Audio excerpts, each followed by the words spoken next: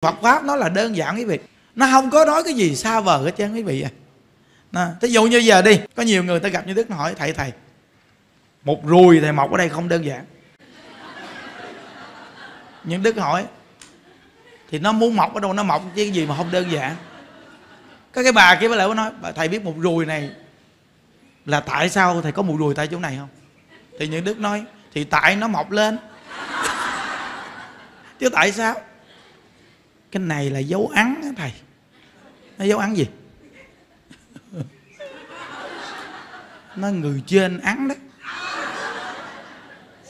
Trên đọt cây á nó nói chi mấy cái chuyện xa vời chi chi à? Nó thích mọc ở đâu thì nó mọc ở đó. Một ruồi nó mọc lên nó cũng là nhân quả. Nhiều đời nhiều kiếp của mình thích cái một ruồi này, bây giờ nó mọc một ruồi này, hoặc là mình thấy người ta mọc một ruồi ngay đây mình cười người ta. Giờ bị mọc một ruồi ngay đây nếu như nhà đức không mọc một gùi chỗ này thì nhà đức càng đẹp trai hơn. Ai mọc chi một gùi chỗ này làm chi à đúng quý vị. Da mặt này nó bình thường hết trơn đi, này nó đẹp biết nhiêu nó mọc một gùi đây làm chi à Thấy không? Tự nhiên ờ, mọc một gùi đây là dấu án tầm bậy. Chứ chờ trời với đất gì không biết nói cái gì luôn. Khỏi đi quý vị. Đừng có nói mấy chuyện sao vời cho nó mệt tim nữa. Có những bà có cái bóp chỗ này thầy bói đó, cái bóp này không đơn giản. Nó hỏi sao cái bóp này không đơn giản thầy cái bóp này là cái bóp may mắn. Có những bà thì, những ông thì một người son nổi trong người chỗ nào chỗ nào. Người son mọc đây không đơn giản. Đó. cả đời nghèo muốn chết. Thấy không? Nó tàu lao. Thì cơ thể chúng ta nó muốn mọc cái gì nó mọc. Chúng ta đi quan tâm điều đó làm cái gì? Cái quan trọng là cái tâm tư của chúng ta sống. Chúng ta đang sống làm sao? Chúng ta đang làm việc gì? Chúng ta có hiếu với cha mẹ mình không? Chúng ta có hòa thuận với anh em mình không? Mình có ăn, mình biết chia cho người ta ăn hay không? Mình muốn ai cũng thương mình vậy mình có thương người ta không? Mình gieo cái nhân thiện thì mình có cái quả thiện ở đâu mà cái bớt cái mục ruồi hay cái thứ gì đó. Cái đó là cái chuyện mà mà mà mà tự nhiên trong người nó mọc ra. Cái chuyện đó chúng ta không cần nói tới làm gì chứ cái quan trọng là bản thân chúng ta, cái tâm ý chúng ta đang sống như thế nào mới là quan trọng đúng không?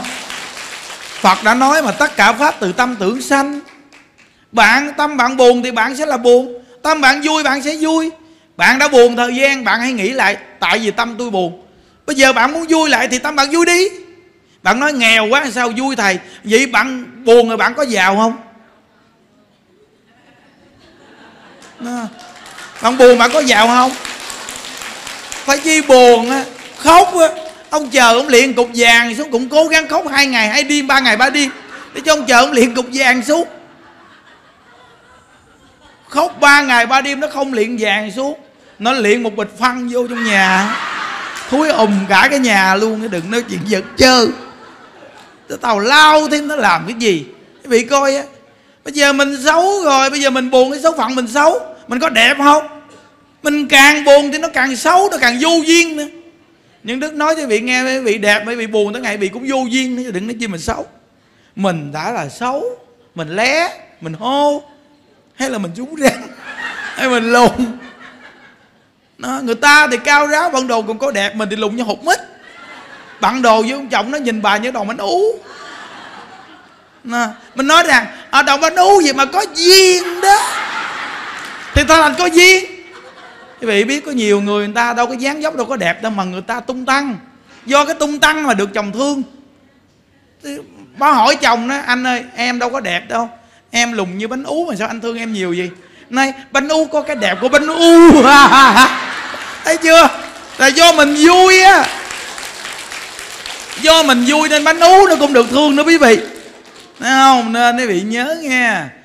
Trong cái cuộc đời này cái niềm vui nó mới tiêu tan nghiệp chướng còn quý vị mà nói hoàn cảnh đó vì vị phải buồn, còn cha mẹ chết, thì cha mẹ cũng chết rồi. Bây giờ chúng ta công nhận là cha mẹ mình chết, là cha mẹ mình đã chết rồi không? Bây giờ quý vị có khóc cỡ nào, khóc có trôi nhà cửa, thì cũng trôi luôn cái nhà. Mà cha mẹ cũng chết, mà trôi luôn cái nhà. Cỡ vị khóc hì hì hì trong cái nhà, thì quý vị là một cái nhà buồn. Mà chết thì cũng chết rồi, mà cái nhà đã buồn nữa. Là chết rồi còn buồn nữa là lỗ thêm buồn. Mình đã lỗ cha mẹ rồi là cha mẹ đã chết là mình lỗ rồi. Mình buồn thì mình lỗ thêm cái buồn. Mà bản thân của mình có của cha có của mẹ. Mà mình buồn thì cha mẹ mình ở đâu cũng bị buồn. Không? À, nghe kỹ chưa? Nhiều người mới nghe thì nó thầy không giảng gì đâu mà trời ông này vô tình vô nghĩa vậy nó trời lên trời. Tại vì quý vị có tình có nghĩa của thế gian còn tôi có tình có nghĩa của sức thế gian. Hiểu không? Các vị đâu có đâu có dối tới nổi hả? Còn ai muốn dối tới thì học đi. Muốn ờ, tình nghĩa của sức thế gian hay thế gian thì tùy quý vị. Cái tình nghĩa của thế gian này nó nhiều việc nó hư hết trơn à. mình dùng tình nghĩa thế gian người tâm, tình nghĩa sức thế gian mà dùng tình nghĩa thế gian là tại vì cái căn tính người thế gian nó yếu quá. Nên dùng cái tình nghĩa thế gian để kéo nó vô tình nghĩa sức thế gian thôi. Nó giống như có một cô có vô chùa của tu cô, cô gặp những đứa cô hỏi con đi tu là gì? Con quý mến thầy. Con thương thầy. Con hỏi thầy có thương con không? Những đức nói có thương chút. Có thương chút. Nó ở tu 3 năm sau. Nó hỏi những đức thầy bây giờ còn thương con nhiều không? Vậy đức nói, hết. Thì ba năm nó quen nước, quen cái rồi quý vị. Thì cuối cùng nó tu luôn tới bây giờ. Giống như a nan. Nói quý vị cái câu chuyện a nan á, trời, mình đọc mình đọc kinh, mình nghe kinh mà, mình phải hiểu. Không? Phải đem lời dạy của phật để áp dụng vào cõi đời nó mới đúng. Nó, chứ đâu phải là đọc kinh để mà đọc cho phật nghe. Thấy không? Nên quý vị coi như a an ngày đẹp, cái nào ma đang già thương a an mà thất tình mà gọi là bỏ ăn, bỏ ngủ. Mặt mày sơ sát mẹ của ma đang già dùng mọi cách, dùng bùa ngải để kéo a nan a nan là đa văn đệ nhất đệ tử phật, mà sao mà kéo được? Vậy đó mà a nan đi khắc thực, cái lẻo đẻo đi theo a nan suốt luôn. Đi về tới tịnh xá thì a nan vô, thì bắt đầu là đứng ở ngoài tịnh xá, cứ gình gặp kiếm a nan rồi xong mà đức phật kêu đệ tử ra, kêu a nan ra, gọi ma đang già vô đây nói à, hỏi ma lan già là thương a nan thương chỗ nào? Nó con thương a nan dữ lắm, từ mắt, mũi, miệng, thân thể. Cái gì cũng cũng thương a nan, con thương dữ lắm. Đức phật nói, vậy thì ta sẽ gả a nan cho ma lan già. Mừng quá chờ mừng. Nhưng mà ta có một điều kiện, là ma lan già phải ở là tịnh xá này tu một năm, rồi mới cho làm đám cưới với a nan. Đó. Trong một năm đó đó, thì à, bắt cạo đầu đắp y hết luôn. Thấy không? Rồi đức phật giảng pháp cho nghe. Rồi xong ma đang già nghe, liễu ngộ phật pháp. Một năm sau đức phật hỏi, còn muốn cưới a nan? Ma đang già nói, đúng là cõi đời là khổ đau. Tình cảm là sự dây chói, buộc đời đời kiếp kiếp. Sự khổ đau này không gỡ ra được. Nam mô với với đạo phật.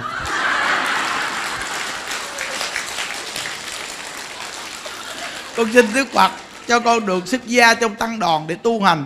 Hướng đến đạo giải thoát. Nói vì thấy không? Đức phật này nhìn được á, nhìn được căn tính. Còn bây giờ chúng ta không dám chơi cái môn này. Vì chúng ta không nhìn được ma lăng già nó muốn cái gì? Mình đưa vô nó một năm chờ sao nó dẫn một thằng đệ tử đi luôn thì sao? Đức phật là nhìn ra ma lăng già. Quý vị phải hiểu cái nguyên lý này, quý vị mới làm. Cái việc mà quý vị cần làm. Quý vị không hiểu nguyên lý này quý vị làm theo lời của phật quý vị quý vị mới nói ba đời chư phật hàm quan do người không hiểu. Đức phật thì nhìn ra mình không nhìn ra cái chiêu này mình không dám chơi rồi. Hiểu không? Còn bản thân mình là mình biết bản thân mình. Mình là cái dạng nào mình biết. Nó nên, người, người ta đến tu người, người, mình biết cái người này nè như, như vậy hỏi. Người ta nói người ta quý mình. Người ta nghe pháp người ta quý quá mới vô đây tu. Hỏi mình có thương người ta mình nói có một chút xíu tình thương đó mà nó gầy cái hạt cái giống cho người ta ba năm chờ ở trong chùa. Nó mỗi ngày đi qua đi lợ gặp nhau như đức. Ba năm chờ cứ vậy thôi. Thấy không? Nó lâu lâu lấy cọng chuỗi đeo vô tay. Vậy thôi. Mà ba năm tu luôn quý vị bây giờ nuôi người già luôn. Ghê chưa quý vị? Đó. Ờ, đó, thấy không? Nếu mà cái câu đầu tiên của mình mà nó không là dứt cái duyên nó luôn rồi quý vị. Đoạn duyên rồi. Bản thân mình do bản thân mình quyết định chứ. Đúng không quý vị? Không? Nó nên tại sao chùa mình mà nhiều người nữ trẻ vô ở tu được? Là vì sao? Những đức đi qua đi lại những đức cứ vậy đó mà giết họ không đi đâu mà họ cũng ở chùa vui. Họ không cần đi đâu mà ở chùa cũng vui và thêm những đức có nhiều trò nói chuyện. Nói mà làm cho vui vui quá rồi đi đâu? Đi ra ngoài cũng không vui được ở nhà ở trong chùa. Giết rồi tự nhiên phải tu. Nên những đức nói mình quý một người tu mình tu luôn. Tu lâu ngày hiểu luôn và cuối cùng hóa giải cái tâm đó luôn. Không phải giỡn đâu. À, Ờ, chứ nếu như mình cứng ngắt cứng còng trời ơi cái cõi đời này mà đổ ai chạng cứng ngắt cứng còng ai mà thích cái vị mà đổ. Thấy không? Từ đứa con nít mà nó còn quý những đức nó chạy theo dù dù. Nít nó gặp những nó làm gì này không biết nó làm gì nữa à, ờ, nó cứ làm vậy đó. Nhưng nó không biết nó làm cái gì mà nó gặp lại nó cứ. Hầu nó chạy dù dù dù theo. Ờ. à, vậy coi nít mà mà mà mà mà, mà tại sao nó nó quý mình gì mình thương nó quý vị ơi.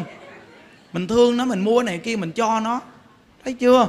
Mà nó quý mến mình sau này rồi nó nó lại chịu đeo cái máy niệm phật của những đức. Thấy không? Nó thích nó đeo cái máy niệm phật của những đức. Cái tiếng niệm phật những đức cũng đâu có hay ho gì đâu.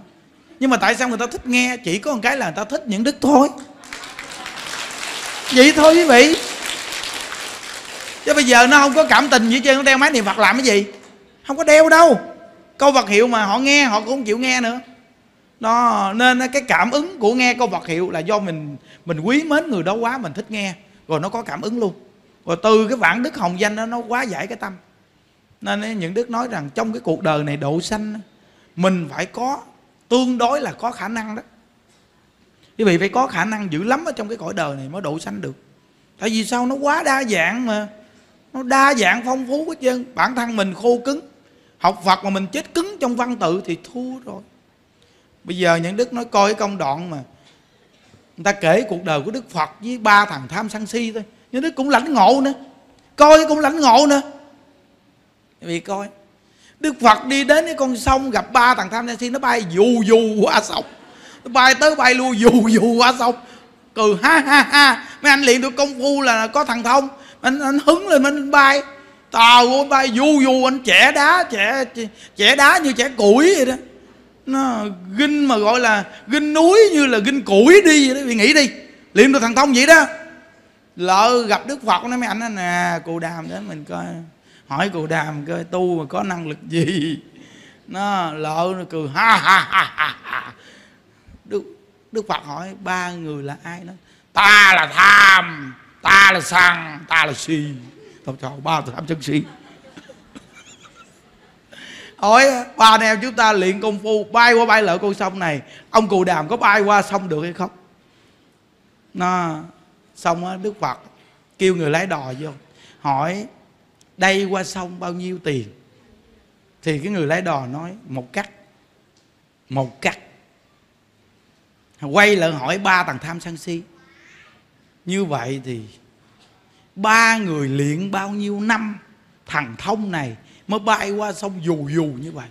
Nói ba chục năm đó. Công phu khổ hạnh ba chục năm.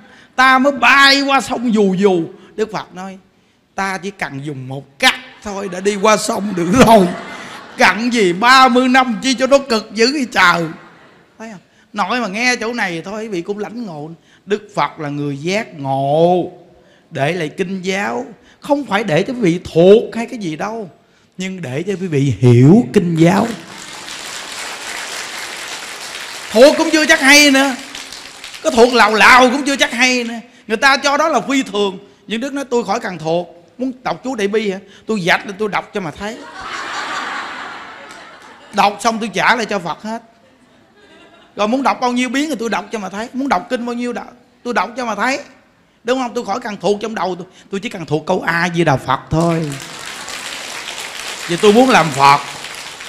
Trời, người ta không hiểu quý vị ơi. Ta tưởng đâu đó là phi phàm phi thường. Như ấn tổ ngày trong liêu thắt hơn 30 năm. Ngài diệt đại tạng kinh mà ấn tổ ngài có năng lực trí tuệ đến mức nghe. Mà trong đại tạng kinh câu nào phiên dịch sau này mà có sai ngài chỉnh luôn? Đó không phải là tầm thường đâu quý vị. Dám điều chỉnh trong đại tạng kinh mà lời kinh nào mà không phù hợp chỉnh luôn là không đơn giản đó. Là bậc phải là thông tông, thông giáo, cực kỳ trí tuệ mới dám làm điều này. Vì điều chỉnh một lời kinh mà sai là tội lỗi nặng dữ lắm. Mà ngài dám làm điều này nên mới nói đại thế chí bồ tát quá thăng vì ở trong liêu thắt hơn 30 năm, bước ra khỏi liêu thắt để lời một câu cho đời cội nguồn tột đỉnh thâm sâu nhất, chỉ trong hồng danh a di đà. Thấy chưa? Ngài đâu có chỉ mình đi đi đi, đi diệt đại tăng kinh hay đọc đại tăng kinh đâu quý vị. Vì cái việc này ít có ai làm được. Nên đòi hỏi bạn nghe được phật pháp. Bạn có lãnh ngộ phật pháp hay không để áp dụng vào cuộc đời kia còn cái cõi đời này đa phần người ta là bị cái gì quý vị? Cho là cao siêu. Cao siêu làm được cái gì? Bao nhiêu con người trong cuộc đời này quá trời cao siêu mà làm được gì đâu quý vị? Có những người ta học cao hiểu rộng. Quý vị ngoài đời quý vị học tới bằng bằng cấp tiến sĩ luôn quý vị đi làm thì giỏi lắm, quý vị cũng lãnh lương thôi. Cũng là lo cho vợ, cho con thôi. Tôi học lớp 3 ở lại 9 năm nè. Bây giờ tôi làm cái gì? Tôi nuôi bao nhiêu con người? Thì so sánh bằng tôi không? Đúng không quý vị? Đây là xác thực mà. Đó, thì quý vị thấy Phật pháp hay chưa? Đặc biệt hay luôn, tại sao không nhìn nhận đâu phải là biết văn tự gì nhiều, nhưng đòi hỏi bạn làm việc trong Phật pháp. Những gì Phật dạy, bạn có thể làm được một phần nào. Bạn làm đi chứ đâu phải là bạn thao thao bác tuyệt đâu chợ. Bạn thao thao bác tuyệt có khi bạn sanh tâm kiêu ngạo. Vì bạn cho rằng bạn là người rất thông minh nên nó nguy hiểm. Thà bạn không có thao thao bác tuyệt nhưng mà một hai câu kinh bạn đọc qua bạn nên hiểu cái nguyên lý đó. Rồi bạn nên áp dụng đi. Một lời của phật mà bạn hiểu bạn làm. Còn hơn là ngàn câu của phật mà bạn nhớ. Nhớ mà không làm. Oh, nó quý vị là người học phật á. Vì đi tìm hiểu đi phải có nhiều vị tăng, đối với kinh giáo người ta hiểu nhiều thuộc nhiều không? Thuộc nhiều nhưng chưa chắc hiểu. Cho quý vị biết, cả quý vị dịch luôn, cái lời đó cũng chưa chắc quý vị làm. Chỉ dịch nhưng chưa làm. Làm là khác hoàn toàn. Trong đạo phật này nói câu từ bi, nhưng bạn từ bi đến cái mức nào? Bạn có phát tâm từ bi chưa? Có nói cái chuyện từ bi, nhưng bạn có phát tâm từ bi hay không? Bạn nói có bạn từ bi chỗ nào? Bạn mở rộng cái tâm, bạn làm xác thực đi. Bạn từ bi chỗ nào? Nếu là bạn từ bi thật sự, bạn, một con người bạn giúp bạn làm đi. Rồi hai con người bạn giúp bạn làm đi. Ba con người bạn giúp bạn làm đi. Bạn chăng thật làm đi, rồi bạn sẽ thấy được, bạn cảm giác được cái sự từ bi của bạn. Sự từ bi của bạn không phải bạn phát tâm từ bi, mà vì lợi ích cho chúng sanh nên bạn vui, nên tâm từ bi phát nguyên lý của phát tâm từ bi là như vậy đó quý vị. Không phải từ bi là nó là cái một cái bao nhiêu món quà từ thiện, bao nhiêu cái việc giúp người ta không phải, mà là cái từ bi là quý vị biết rằng là cái sự giúp người ta nó không có điều kiện nữa. Đi đến từ từ nó đạt trình độ là mất điều kiện của cái sự từ bi, mà bạn giúp người không có chi cầu, mà chi cầu cũng vì người luôn. Đạt đến trình độ là chi cầu phải vì người, vì chi cầu là giống người phàm phu. Phàm phu như vậy, mình phải chi cầu như vậy mình phải nói như vậy. Phàm phu ham muốn như vậy mình nói cái đó là như vậy. Nó thí dụ như bây giờ cái món quà này chùa cho là nó món quà bình thường mình nói quà là lóc của chùa không đơn giản. Vì phàm phu thích như vậy mình nói câu không đơn giản. À, lọc trong chùa không đơn giản. Chụp chụp. Nói quý vị thấy nói không? Đó mình đẩy ra để phù hợp căn tính chúng sanh. Để mình kéo chúng sanh gì thì vị mới độ được họ, quý vị. Đúng không? Cho quý vị nói thật, chắc ơi, cái này là món quà bình thường nó đồ đạc là bình thường, cái gì cũng bình thường chứ. Nó bình thường mà như thế gian nó gì đâu. Gì đâu quan trọng. Thấy không? Đó, nên cái tâm từ bi quý vị phải chen trí tuệ vào để áp dụng nó phù hợp. Thì nó đặc biệt dữ lắm quý vị à. Nó như những đức thấy cái nơi kia người ta bán mai, quý vị không phải. Nguyên một cái vườn mai, quý vị. Mà ta trồng nhiều năm, ta trồng hoài. Mà bây giờ không ai mua. Mà tính ra mà bỏ vào trong đó tiền của nó biết nhiêu, nói chậu chậu, trồng mai. Hồi xưa có một thời mai bán tiền dữ lắm. Thấy tội nghiệp ghê, cũng phật tử đi đến chùa tu. Nó bây giờ cứ cho nó ăn, không cho nó ăn thì nó nó chết. Mà đã khổ rồi, mà cho nó ăn hoài vậy đó nó mà giờ mà bán không ai mua mà giải quyết không lẽ bây giờ đi nhổ bỏ đó. Thầy ơi, uổng quá trời uổng. Như đức nói giờ cúng dường nhân đức đi. Đúng không? Cúng dường nhân đức đi. Một một ngàn năm trăm cây mai. Một ngàn năm trăm cây mai quý vị. Nó thì mình thấy tội nghiệp ghê. Tính ra mà chồng nó rồi công cán, nhiều tiền lắm, nghe nói tám chín trăm triệu gì cả tỷ mà quê mà quý vị nghĩ cỡ nào chưa? Mà bỏ hoài vào cho nó ăn vậy đó. Nó, bây giờ không ai mua chứ á. Giờ thời thời thế đang khổ ai mà chơi cái gì nhiều. Nó quý vị biết rằng thấy cũng tội nghiệp cái ghê. Thấy cũng là người niệm phật, thấy tội nghiệp quá. Nhân đức nói thôi, được rồi. Bây giờ nhân đức nói với anh gì nghe? Những đức lấy một ngàn năm trăm cây mai này, những đức trả cho anh 200 triệu. Thấy không? Tại vì sao? Nhân đức tính cho anh nè. Anh không đưa ra biết chừng nào bán được. Cứ cho nó ăn hoài thà anh giải quyết xong cái đi là xong. Còn cái công cán đừng có nghĩ gì. Đưa cho những đức để những đức tặng cho phật tử món quà mùa tết. Nhớ không? Mùa tết. Cuối cùng nó tàu con cảm ơn thầy còn cái gì đó thầy ơi thầy. Không nó thật sự với thầy á, mà khi thầy nói cúng dường là con muốn cúng dường mà con khổ quá trời khổ thầy ơi thầy bây giờ thôi thầy cho con được 200 triệu con mừng dữ lắm thôi bây giờ con để con nhổ hết con đem lại cho chùa con bỏ vô bịch bịch bịch bịch bịch bịch bịch bịch bịch bịch cho đàng hoàng hết trơn nó để cho thầy tặng cho phật tử đem về chồng nhà đức nói ừ đây là mon cái này là của những đức nghe mai này là của những đức đó là của chùa của tam bảo rồi đó nghe đức đem về chùa nghe rồi những đức sẽ cha chi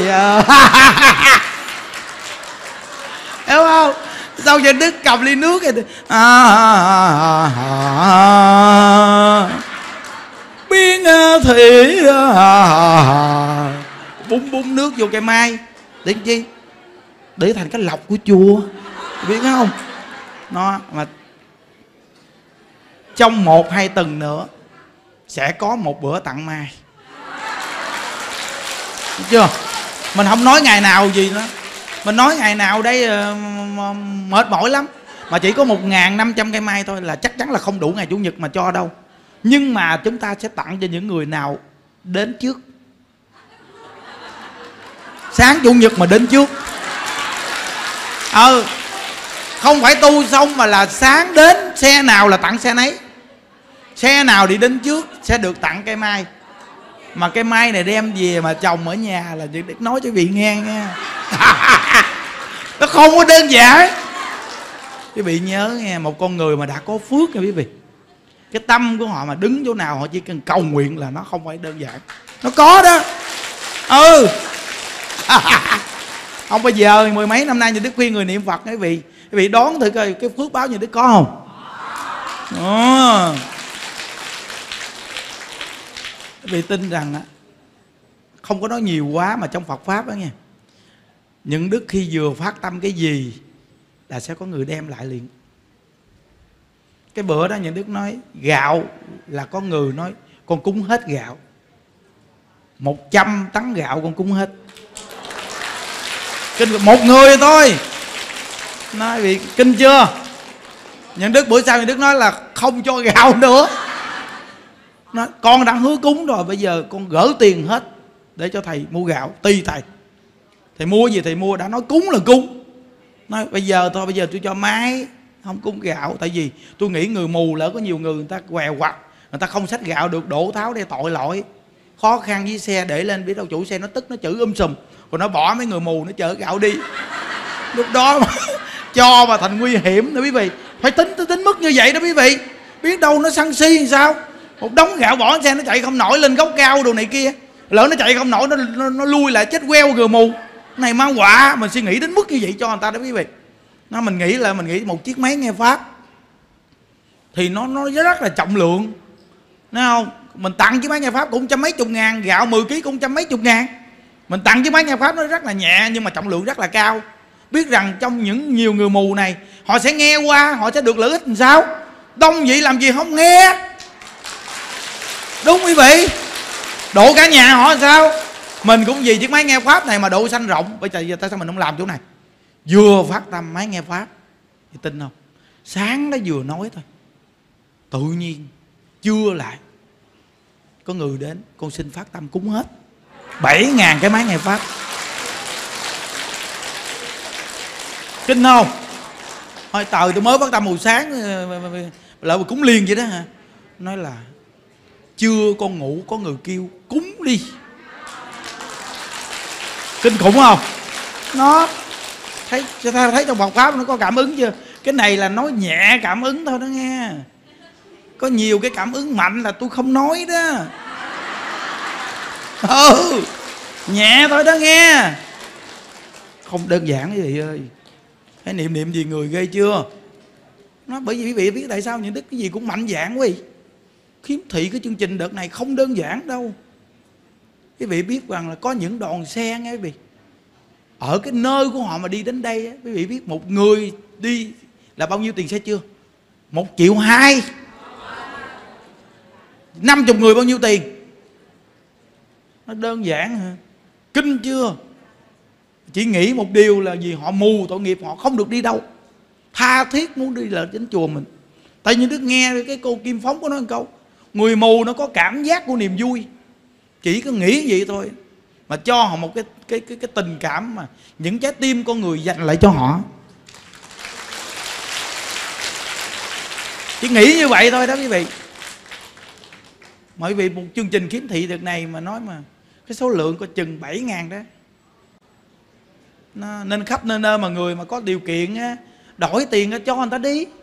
Trời ơi mình ăn thì hết mình cho thì còn sợ gì? Còn tiền xe nè, với bỏ bao thư những đức vớt hết chứ. Máy những đức xử lý luôn, xong rồi đó. Nó nên khiếm thị là hai người dứt một phát xong tiền đó luôn. Kinh chưa?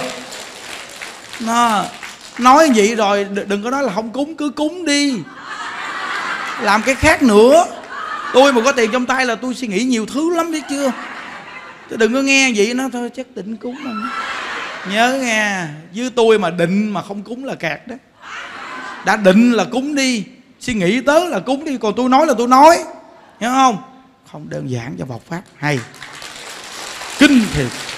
Thấy chưa? Như đức đã từng nói với vị một câu, nói gì? Niệm phật là xài phước của phật. Thấy không?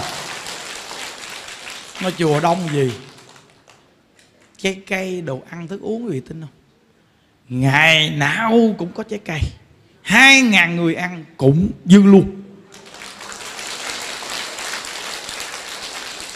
Còn bưởi cúng quý vị. Bữa chủ nhật tuần trước mà cắt mà từ sáng cắt cho đến 10 giờ trưa mới mới mới xong. Bưởi á bây giờ ở dưới một đống bưởi nữa kìa. Hộ pháp nó, chiều nay này lớp đạo làm con này chuối á. Trời chuối nó ngon gì đâu mà chuối già. Nó, nó, nó, nó nõn nà nó đẹp. Chuối gì đâu mà còn hơn con gái 18 tuổi. Nghe bác mê biết không? Bồ cam gì đâu mà công nhận cam mà nó đem vô chùa mà nó ngọt gì đâu. Mà cái bà đó nói công nhận thầy thầy sao chùa này ngộ quá? Cam này cam ở nhà con uống nó chua thầy của thầy. Sao mà đem vô chùa này tự nhiên một ngày sao uống sao ngọt ngay gì chợ. Nó không đơn giản nha quý vị. À, cái từ trường chùa mình không đơn giản quý vị ơi. Tình dữ vô tình động viên chủng chí. Cái trái cam này ngoài đời nhiều người không tu quá cái cam này nó cũng săn hẳn. Chua. Còn bây giờ để cái đống cam ngay chân cái chỗ nhà ăn. Sáng nào cho đức nói chuyện cười hà hà. Cam nó cười theo thì nó ngọt chứ sao tạo thấy chưa? Quý vị thấy quý vị thấy cái gì như đức nói nó cũng ra được nha quý vị. Không có gì mà chối bự được những đức cái gì cũng ra chứ đúng không? Cái bữa đó quý vị nhớ những đức đội cái bông sen mà những đức giảng không? Cái đoạn cái bà kia nói công nhận thầy này đọc nhạc gáp hay ghê trời. Gáp kịch kịch kịch kịch ghê thiệt chứ. Tôi thấy chưa? Nó mà gáp ra gáp qua Phật pháp mới ghê chứ. Thấy không? Nói thấy không? Cái, cái, cái câu vật hiệu vì thấy hay chưa? Hay cỡ nào mà tại sao không niệm? Hay cỡ nào mà tại sao không niệm? Đó. nên dù cho là cái nghiệp duyên gì chồng bỏ chồng chê hay vợ bỏ vợ chê hay con bỏ con chê yên tâm vì chúng ta có ai với đà phật rồi.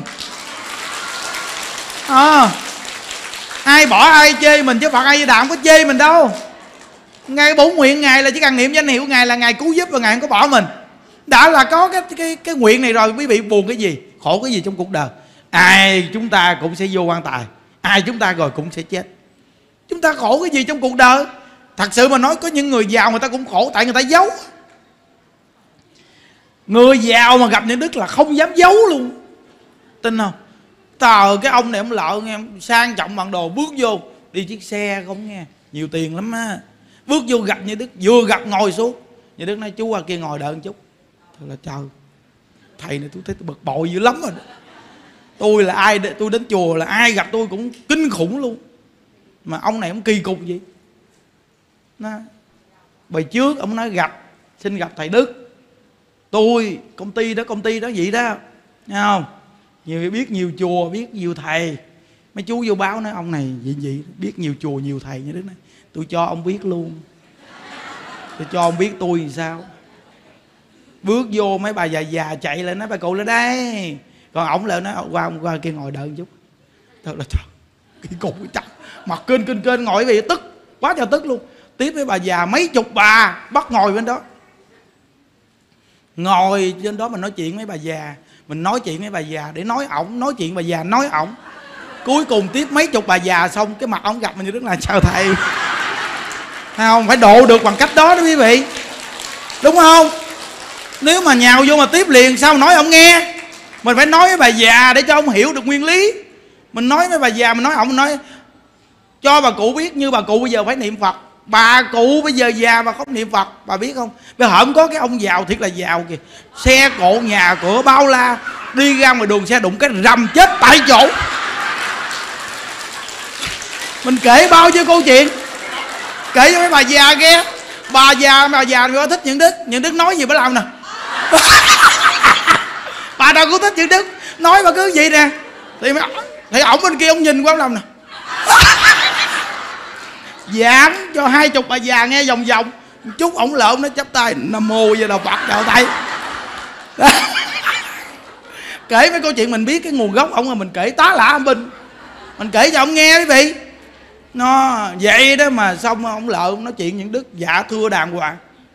Nó những đức nói chú biết, chú giàu. Nó trời là trời, sao thầy biết tôi giàu? Biết, nhìn chú là biết chú giàu. Nhưng mà mấy chú ông nói cho mình nghe rồi. Chứ mình có biết cái gì đâu.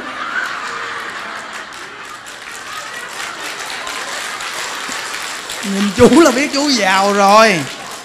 Nè, ông đi xe màu xám xịn dữ lắm. Mình hỏi mấy chú chạy ra coi xe ông màu gì. Màu xám, xong vô nói cái mạng của chú đi xe màu xám. Nó thật quá. Gây bon luôn xe màu xám. Thầy này không đơn giản chút nào trời. Bởi vì nghe đồn về thầy nhiều bây giờ mới biết. Chú thấy thì sao đấy quá dữ dặt cái nói là những cái việc bé bỏng thôi không cần phải nói tới. Còn nhiều cái việc khác nữa chú khổ. Nó trời trời con giàu mà sao con khổ thầy? Chú khổ. Khổ tâm. Thầy biết luôn việc này hả? Thì thật sự quý vị cõi đời này ai mà không khổ tâm? Đã là không tu ai mà không khổ tâm? Càng giàu càng khổ chứ làm gì? Giàu thì nó lo cái chuyện sự nghiệp của cải rồi thêm nữa có vợ bé vợ mọn nữa thì khổ chết mồ chứ sao nhìn ông này là mình nhìn ổng thôi, là mình nhìn cặp chân mày với cái miệng là mình biết ông này là ngoài đời là cũng mèo mã gà đồng. Nhìn mặt là biết rồi, mình nói, chú khổ tâm. Đúng không? Chưa nói được gì, mình nói quá trời luôn. Chú khổ tâm. Thấy không? Tuy bên ngoài bước ra thì bao nhiêu người kính trọng, nhưng về nhà thì mặt lớn mặt nhỏ nó tự là tự sao chuyện gì thầy cũng biết chứ kìa thầy. Tại mình đoán được là cái chuyện gì? Ổng đi ra ngoài thì mèo mã vợ lớn biết, thì về nhà mặt lớn mặt nhỏ thêm cái nữa, đã cái tâm vậy thì con không kính trọng ổng, thì ổng khổ tâm chứ làm sao? Đánh ngay tâm lý. Thấy không? Thật sự đâu có gì ghê gớm đâu quý vị. Nhìn mặt mà đón người thôi. Kết hợp thêm số. Khéo léo một chút. Đúng không? Đó thấy không? Đó giảng mà nói rõ cho vị nghe hết trơn đấy chứ. Đâu có gì đâu giấu. Để, quý vị nói thầy này không phải đơn giản tôi đơn giản lắm. Cái gì tôi cũng nói rõ ràng càng nói rõ ràng thì càng không đơn giản.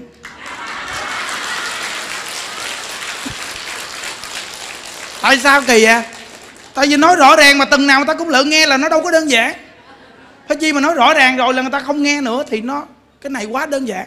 Nhưng mà nói rõ ràng rồi thì từng nào cũng nói rõ ràng nhưng mà từng nào cũng đến nghe. Vậy thì nó không đơn giản. Vì công nhận không? Đó, cái này mới ghê nè. Trong nhà phật đã dạy môn này rồi mà người ta không để ý.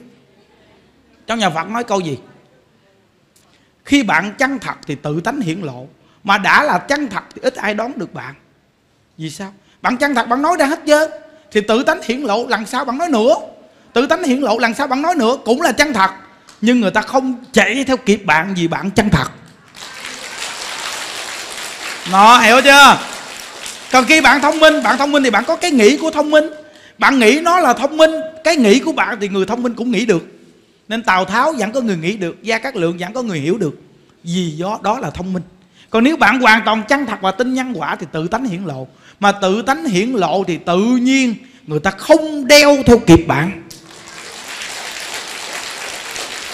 không? Cái nguyên lý của chia sẻ Phật Pháp, Nếu thật sự mà hiểu một chút thôi, Thì quý vị sẽ học đại ý của Phật Pháp. Như những đức bây giờ mà đi học giảng kinh thuyết Pháp Thì chắc chắn rằng quý vị học cực kỳ mau luôn. Vì để ý qua thầy giảng gì tư tưởng thôi. Thì giảng qua tư tưởng như đức sẽ giảng được bộ kinh đó. Biết cái cái cách giảng ở trong cái kinh nó như thế nào. Còn nếu như quý vị học mà là lý giải kinh Thì khó rồi. Lý giải thì đây là cái ý của thầy mình, lý giải mình học theo cái ý của thầy mình thì không phù hợp. Mà mình học cái cách giảng của thầy. Còn cái ý giảng là cái ý của mình giảng ra phù hợp thôi. Thì chỉ cần học vậy thì cực kỳ mau quý vị à. Nó giống như người ta trồng cây thì có cách của trồng cây, mình chỉ cần nắm được cách trồng cây. Mình về mình tính sao mình trồng được cái cây thôi chứ. Nó vậy thì quý vị sẽ rất là giỏi, rất là khéo léo. Cái khả năng phát huy của quý vị nó sẽ rất sáng tạo, rất là sáng tạo cái gì đến với mình nó sẽ sáng tạo sáng tạo. Nó, quý vị thấy Phật pháp hay không? Tại vì chúng ta nghe nhiều chúng ta không để ý thôi. À, à, không để ý thôi không? Mà nó quy gom về cái nguồn gốc là từ niệm Phật mà ra. Nên cái bài học hôm nay là vì sao chúng ta phải niệm Phật. Ờ niệm Phật hay vậy mà không niệm? Đơn giản thôi vậy thấy chưa? Niệm Phật hay vậy mà không niệm? Thì biết gì sao tôi không muốn biết gì không? Vì sao? Tôi không muốn biết gì không? Vì tôi muốn niệm phật. Nên tôi mới giảng cái đề, vì sao chúng ta niệm phật? Vì câu phật hiệu hay quá. Được không? Nó thì quý vị thấy, nếu mà những đứa còn còn học cái này kia thì những đứa sẽ không giảng được cái đề, vì sao chúng ta niệm phật? Vì nó còn nhiều thứ thì không có chuyên niệm phật, thì làm sao giảng vì sao chúng ta niệm phật? Mà nhân đức cứ giảng câu vật hiệu hoài mà giảng hoài. Giảng hoài giảng hoài luôn. Mà mỗi lần giảng là mỗi lần lạ, mỗi lần giảng là mỗi lần lạ. Một trăm phần trăm đó là như vậy. Làm sao văn tự quý vị thuộc? Nếu như quý vị đọc văn tự thuộc thì bị giảng ra văn tự thuộc. Nó là văn tự chết vì quý vị đã đọc thuộc. Nên bị giảng y rang hoài, vì kỳ sao vì phải viết văn tự ra để đọc thuộc. Thì vì giảng một cái đề khác.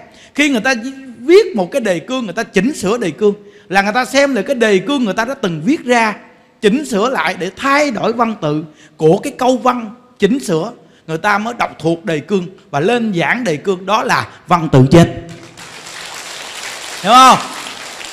Nên nên cái người mà viết đề cương để giảng pháp là người ta cọ vào kinh, cọ vào sách, cọ vào nhiều thứ người ta kết hợp để tích lọc lấy những văn tự đó để chích lục bỏ vào đề cương để người ta mới đọc ra giảng những đức chưa? Chưa có từng học cái này nhưng đức tin chắc một trăm phần trăm. Người ta đều phải là đi tra cứu đó quý vị. Để người ta chích lục đó. Cực quá trời nên lâu lâu người ta ra được bài giảng. Nhưng mà đa phần văn tự không phải sống động. Nên khi quý vị nghe thì quý vị thấy văn tự trao chuốt nhưng quý vị không làm được. Trao chuốt nhưng không làm được. Là do gì văn tự này nói là của người ta. Còn khi những đức lên giảng là những đức tự nhiên mà giảng nên những đức nhìn quý vị sao những đức cho thuốc như vậy? Ho ho ho. Ở đây quan trọng nè.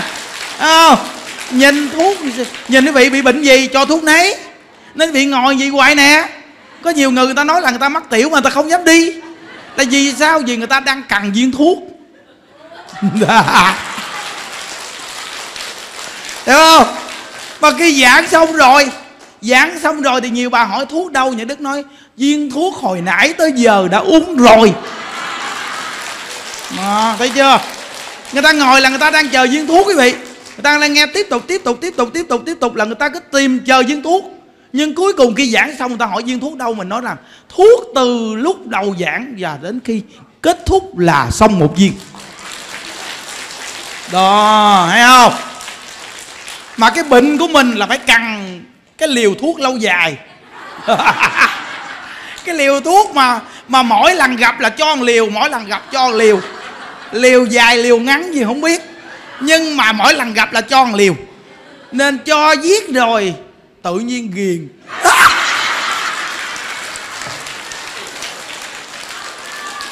Cho giết ghiền. Những đức nói vị nghe trong cái cuộc đời này, ai cho quý vị cái gì nó cũng chán. Nhưng chỉ đúng Phật pháp cho là ghiền bọc áo cho là ghiền? Vì sao bọc áo cho bị ghiền biết không? Vì nó lọc máu, lọc tâm quý vị bên trong. Và đè phục tất cả những cái mà quý vị đang bị phiền não, buồn phiền. Nên mỗi lần nghe là mỗi lần giải độc. Trời ơi, mỗi lần nghe, mỗi lần giải độc thì nó ấp phê cỡ nào? Mỗi lần nghe, mỗi lần giải độc nó ấp phê cỡ nào chưa? Nhưng mà có những cái thứ vui khác là mỗi lần gặp là mỗi lần chúng độc mỗi lần chúng độc kẻ hao người chịu.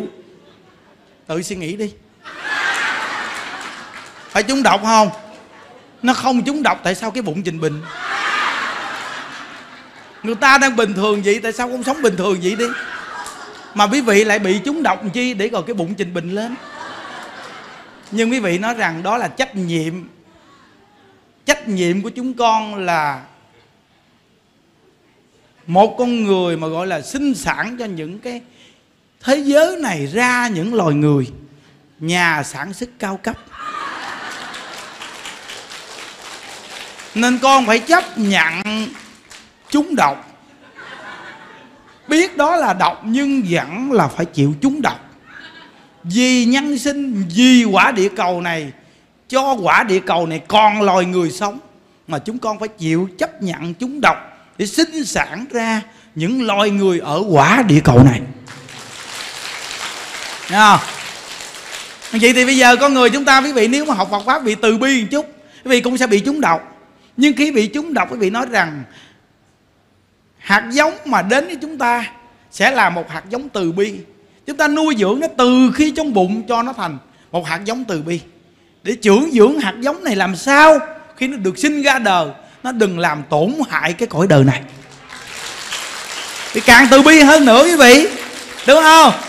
Bây giờ thì có nhiều người đã sanh con nuôi con lớn rồi mới gặp những đức. Quý vị nói ước gì thầy sinh trong cái thời mà con vừa có chồng? Thì cái lúc đó chắc cũng có được nhiều nhân tài xuất hiện. Vì biết dưỡng dưỡng từ trong bụng mà dưỡng ra. Hiểu không?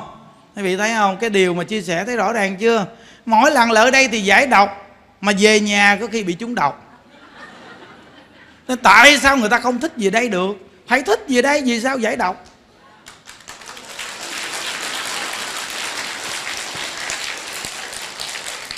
Thuốc giải thì có nhiều loại.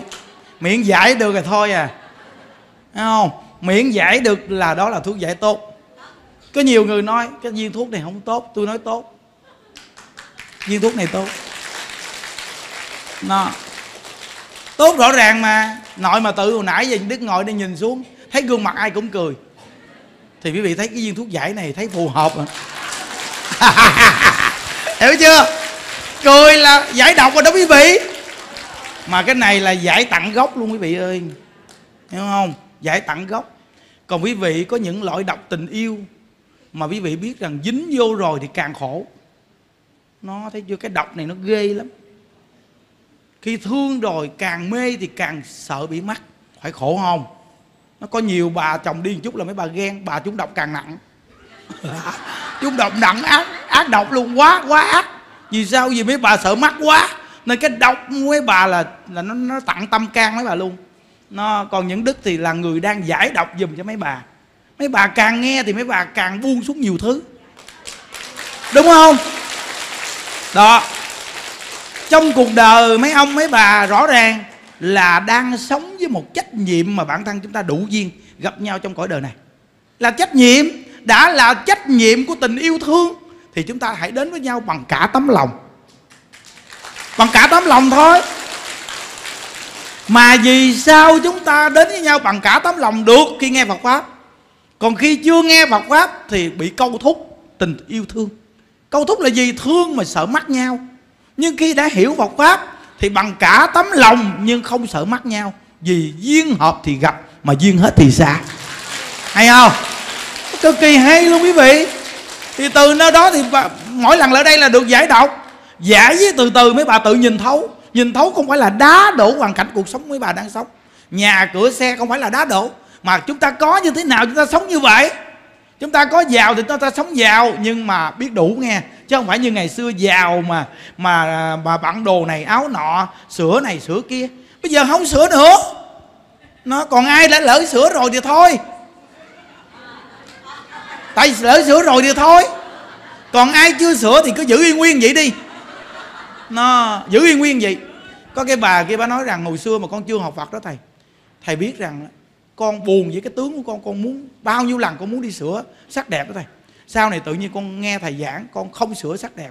Mà từ khi con niệm Phật lễ Phật tới bây giờ chồng con khen con cái tướng đẹp. Nó thấy chưa? Mấy bà niệm Phật lễ Phật với mấy bà cũng cao đường chút. Biết sao mà cao không? Khi mấy bà xá xuống là nó kéo xương sống mấy bà ra. Khi bà quỳ xuống mấy bà lại ra nó cũng kéo ra đường chút mà cái môn niệm phật, lễ phật này, khi bà niệm phật á, cái miệng mà niệm phật nó động toàn thân. Cái tâm mà mấy bà nhớ phật nó cũng dưỡng toàn thân. Nên toàn thân mà mỗi ngày sáng tối nó cứ dưỡng hoài gì thì chỗ nào nó cần thiết bồi dưỡng thì nó bồi dưỡng. Có nghĩa là nó cần bù đắp chỗ nào thiếu thốn thì nó sẽ bù đắp chỗ đó thiếu thốn.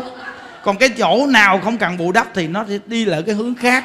Tại vì sao mấy bà bồi dưỡng toàn thân nên cái sức điều hòa của nó đó, nó cao độ hơn tất cả những loại máy điều hòa.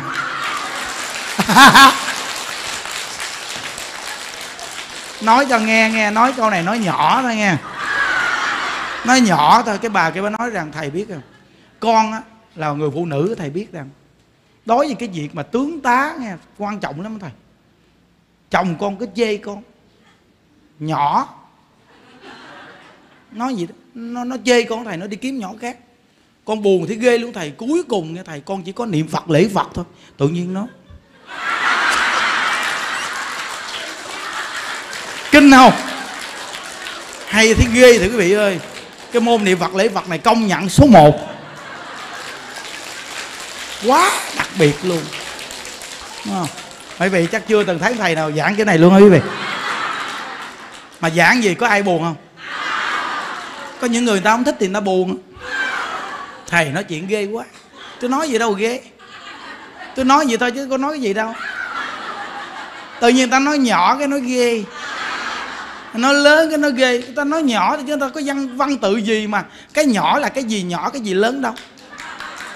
Ta nói cho tự người ta hiểu mà. Đúng không quý vị? Nó chứ người ta có phê bình ra cái danh từ đó đâu. Hiểu không? Em nói, cái đó là nói cho người ta nhận thức thôi. Nên cái cách dẫn dắt mà Phật pháp của môn tịnh độ này đúng là tuyệt vời mà nó sống động gì đâu ừ quá hay mà. Bởi vì tịnh độ này mà không đến học thì đúng là thiệt thòi. Và thứ bảy, chủ nhật mà không đến là thiệt thòi. Cái bài giảng này bị thấy trực diện mà nghe bị thấy kinh vậy quá đặc biệt luôn. Đúng không? Nó mà nhìn xuống mà thấy nghe tàu ô, gương mặt ai gương mặt nấy nó long lanh, quang minh gì đâu vậy ổ chiếu gì đâu á. À có con bé đó nghe quý vị mẹ nó nói rằng mỗi lần mà nó lỡ nó nghe những đức giảng là cái mặt nó trầm dầm bà mẹ nó nói là mỗi mỗi lần mà nó đi giảng là nó nó đi nghe những đức giảng là mẹ nó phải cho tiền đối với nó đi. Nó là cứ cho tiền cho tiền nó phải hứa cho nó cái này kia nó mới chịu đi vậy. Ờ à, bà nói con tin chắc chắn thầy giảng với con nhỏ này nó phải bị đột phá. Và con bắt buộc con phải cho tiền cho cổ cải cho này cho kia mua nhẫn rồi cho nó nó mới nghe thầy giảng mà từ khi mà con dẫn nó đi tới giờ là con cho nó một cây vàng rồi đó thầy. Cho từng chút từng chút mà cả cây vàng đó thầy. Mà bây giờ thầy biết rằng nó gì nó nghe thầy giảng mà nó nằm đâu, nó cũng cười sặc sặc sặc con nói vậy là một cây vàng rồi nó đứng đáng gì đâu.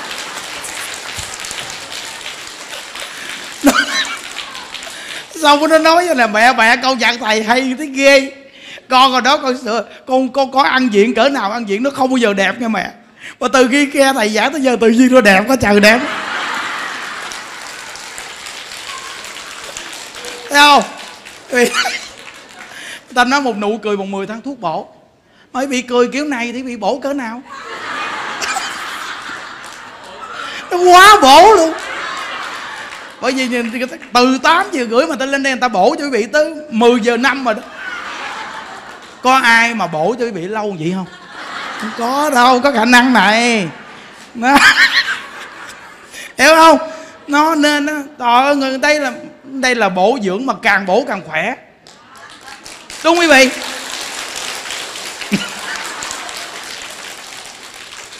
Những đức nói nghe phật pháp là một phương pháp xả chết số một, nha. bây giờ nói thấp nhất của cái tiếp nhận phật pháp thôi nghe. Phật pháp là một phương pháp để tiêu khiển thời gian đẹp nhất. Hấp nhất rồi đó. Tiêu khiển thời gian quý vị.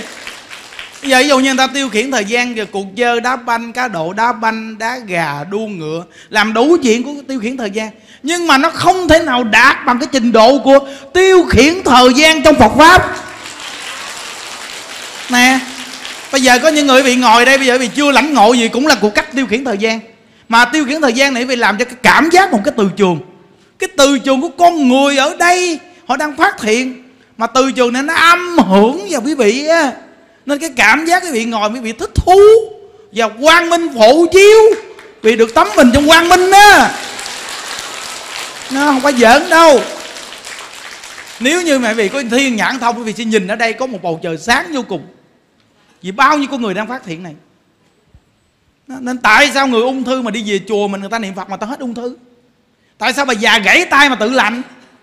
Tại vì cái tâm thiện, cái tâm thiện quý vị. Quý vị biết rằng cái cô liễu ở bên kia, cô té bị gãy cái tay. Vô trong bệnh viện người ta cứ kiểm tra hoài. Cái đùi của nó gãy mấy khúc. Xưa phá thai nhiều lần ghê lắm phá thai ghê không phải đơn giản bởi vì phải tu hành niệm phật. Siêu độ cho thai nhi. Chí Di Đà này là đại siêu độ. 17, 18, 19 Tới rồi. Hôm nay 11 rồi Còn có 5 ngày nữa là tới rồi. Không? Các nàng chuẩn bị đi. Thấy chưa? Đây đây Khỏe re mà với đài này nó vui rồi Vui lắm. Tại vì sao? Vì đâu có lại Phật Bồ Tát gì nhiều đâu. Đâu có đổ mồ hôi bao nhiêu Thấy không? Đâu quay phim thôi nó rực rỡ Nó đẻ, vậy đó. Đúng không? Nhớ nghe. Sáng 17 nghe là phát đèn bông sen nha à, ai mà đến buổi trưa thì đừng buồn nha. Ừ một cái đại pháp hội này là một đại pháp hội thù thắng để siêu độ chư hương linh. Ta từng nói niệm quan âm thì cầu an mà niệm di đà thì cầu siêu. Đúng không? Vậy mà phá tay mà té một phát mà dịnh cái thang nó chợt cái té xuống gãy khớp tay gãy xương đùi gãy mấy khớp khớp khớp khớp gãy bảy khớp gãy kinh chưa? Khi phá thai bị bỏ kéo vô gấp gấp gấp gấp gấp gấp gấp gấp, gấp xương của người ta ra gãy gớp gớp gớp xương bị lợi nhân quả đến với vị. Quả báo tam đồ trả hoa báo thế gian. Thì vị biết rằng gãy như vậy đi vô bệnh viện ta cứ kiểm tra hoài kỳ quá. Cứ kiểm tra là không thấy xương. Rồi sao kỳ cháu kiểm tra không thấy xương. Bằng ngày hôm sau 12 giờ khuya 11 giờ mấy 12 giờ phi là nó nhức. Không tưởng tượng được ghê không? Cuối cùng nằm đó, mười mấy ngày, kiểm tra hoài, xương nó mất tiêu rồi kỳ quá. Lại trời? Cuối cùng như điện của điện thoại như tiếp nói, cô nên suy nghĩ lại. Thấy không? nếu như mà tin câu vật hiệu thì không đơn giản đâu. Thấy không? Cô nên suy nghĩ lại. Tại vì tùy mà người ta đã bị gì mình phải lo thôi, hiểu không? Mình khuyên người ta suy nghĩ lại tùy cô. Cái từ trường nơi bệnh viện nó nặng lắm nào mình nên tin sâu nhân quả. Cuối cùng cô xin xuất viện cô về. Vừa về chùa hai ngày sau tới quý vị, mới về xanh sao dần giọt về chùa hai ngày, sắc diện nó hồng hào lại. Và hai ngày cô về chùa cô ngủ ngon lành, không nhức gì hết chưa không nhức gì hết. Xong bữa nay cái tay tự nhiên nhúc nhích gì nè. Trong khi nó gãy mà bây giờ nó nó nhúc nhích gì nè. Rồi cái chân á là nó gãy xương đùi rồi là sáu bảy khúc. Nhưng bây giờ cái chân nó quơ tới quơ lui được. Sao sao sao sao lạ kỳ? Không thể nghĩ bàn luôn đó quý vị ơi, quý vị. Không tưởng tượng được mà, đúng không? Mà giờ sát diện vui lắm, cười hú ý luôn. Hỏi có nhất không? Không, sao nó không có nhất kia chứ? Sao lạ quý vị ơi? Kinh thiệt. Bởi vì cái câu vật hiệu này không đơn giản. Khi mình niệm câu vật hiệu quý vị, thì những tế bào mình nó hồi phục. Bây giờ đơn giản thôi, bà cụ mà 92 tuổi chùa mình. Già như vậy, bà gãy cái tay bà té, bà chổi xuống gãy cái tay, lội luôn, lội vậy nè. Xong đưa vô bệnh viện nó nói rằng bây giờ bà già phải mổ hết sắp xương lợi nhưng nó đau nhức cực kỳ. Nhưng già gì thì nó cũng không có lành đâu. Nhức dữ lắm, đau dữ lắm. Bà tính sao? Bà nói, tại vì thầy kêu tôi đi nên tôi phải đi, chứ thôi khỏi, không có mổ nhưng để ý tin đi. Bà về bà niệm phật nửa tháng sau, gần một tháng sau, bây giờ cái tay của bà cụ 92 tuổi, bà làm gì nè? Bình thường luôn. Thấy không? Nó hay chưa? Đây lòng người thật người thật, một trăm phần trăm.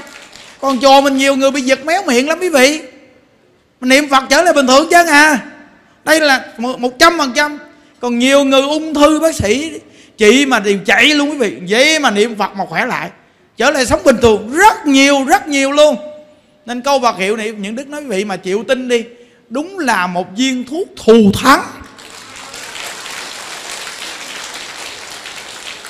Như bây hởm như đức thấy mà bên bên đây nè. Hòa thượng để cái bảng mà ngay chăng cái chỗ mà mà mà, mà bệnh viện đa khoa đại tùng lâm. Có cái bảng đó đó. Hòa thượng để à, viết cái chữ quay qua đây. A di đà phật là đại y vương. Thấy không? Trong chùa có bệnh viện thì người ta là người ta khác. Nhưng mà quay qua cho mấy bà già niệm phật tùy mấy bà. Mấy bà phải nhớ a di đà phật là đại y vương là vua của các bác sĩ. Ý nói là vua của các bác sĩ, quý vị. Nói không? Mà mình tu, mình tin có vật hiệu này hay dữ lắm nha quý vị. Nó tin đi rồi quý vị sẽ thấy cực kỳ hay luôn. Cái thằng con trai nghe quý vị. Nó biết những đức ba năm chờ. Nó nói những đức thầy thầy, con sinh ra đời nghe thầy. Con chỉ, con nói cho thầy nghe. Con rất là ngại và con không muốn điều này với con luôn. Con kỳ lắm thầy con không có thích con gái. Con thích mấy thằng con trai. Con thích con trai dữ lắm thầy ơi thầy. Bây giờ con xin thầy chỉ con cách nào để con trở lại thành một người con trai bình thường? Những đức nói, niệm phật đi con. Nó, rồi xong á. Mình cũng nói với mình luôn. Mình nói, mình mình nói cho nó nghe. Mình nói, thầy hồi đó cũng như con. Lôi ra mình mình nói luôn quý vị.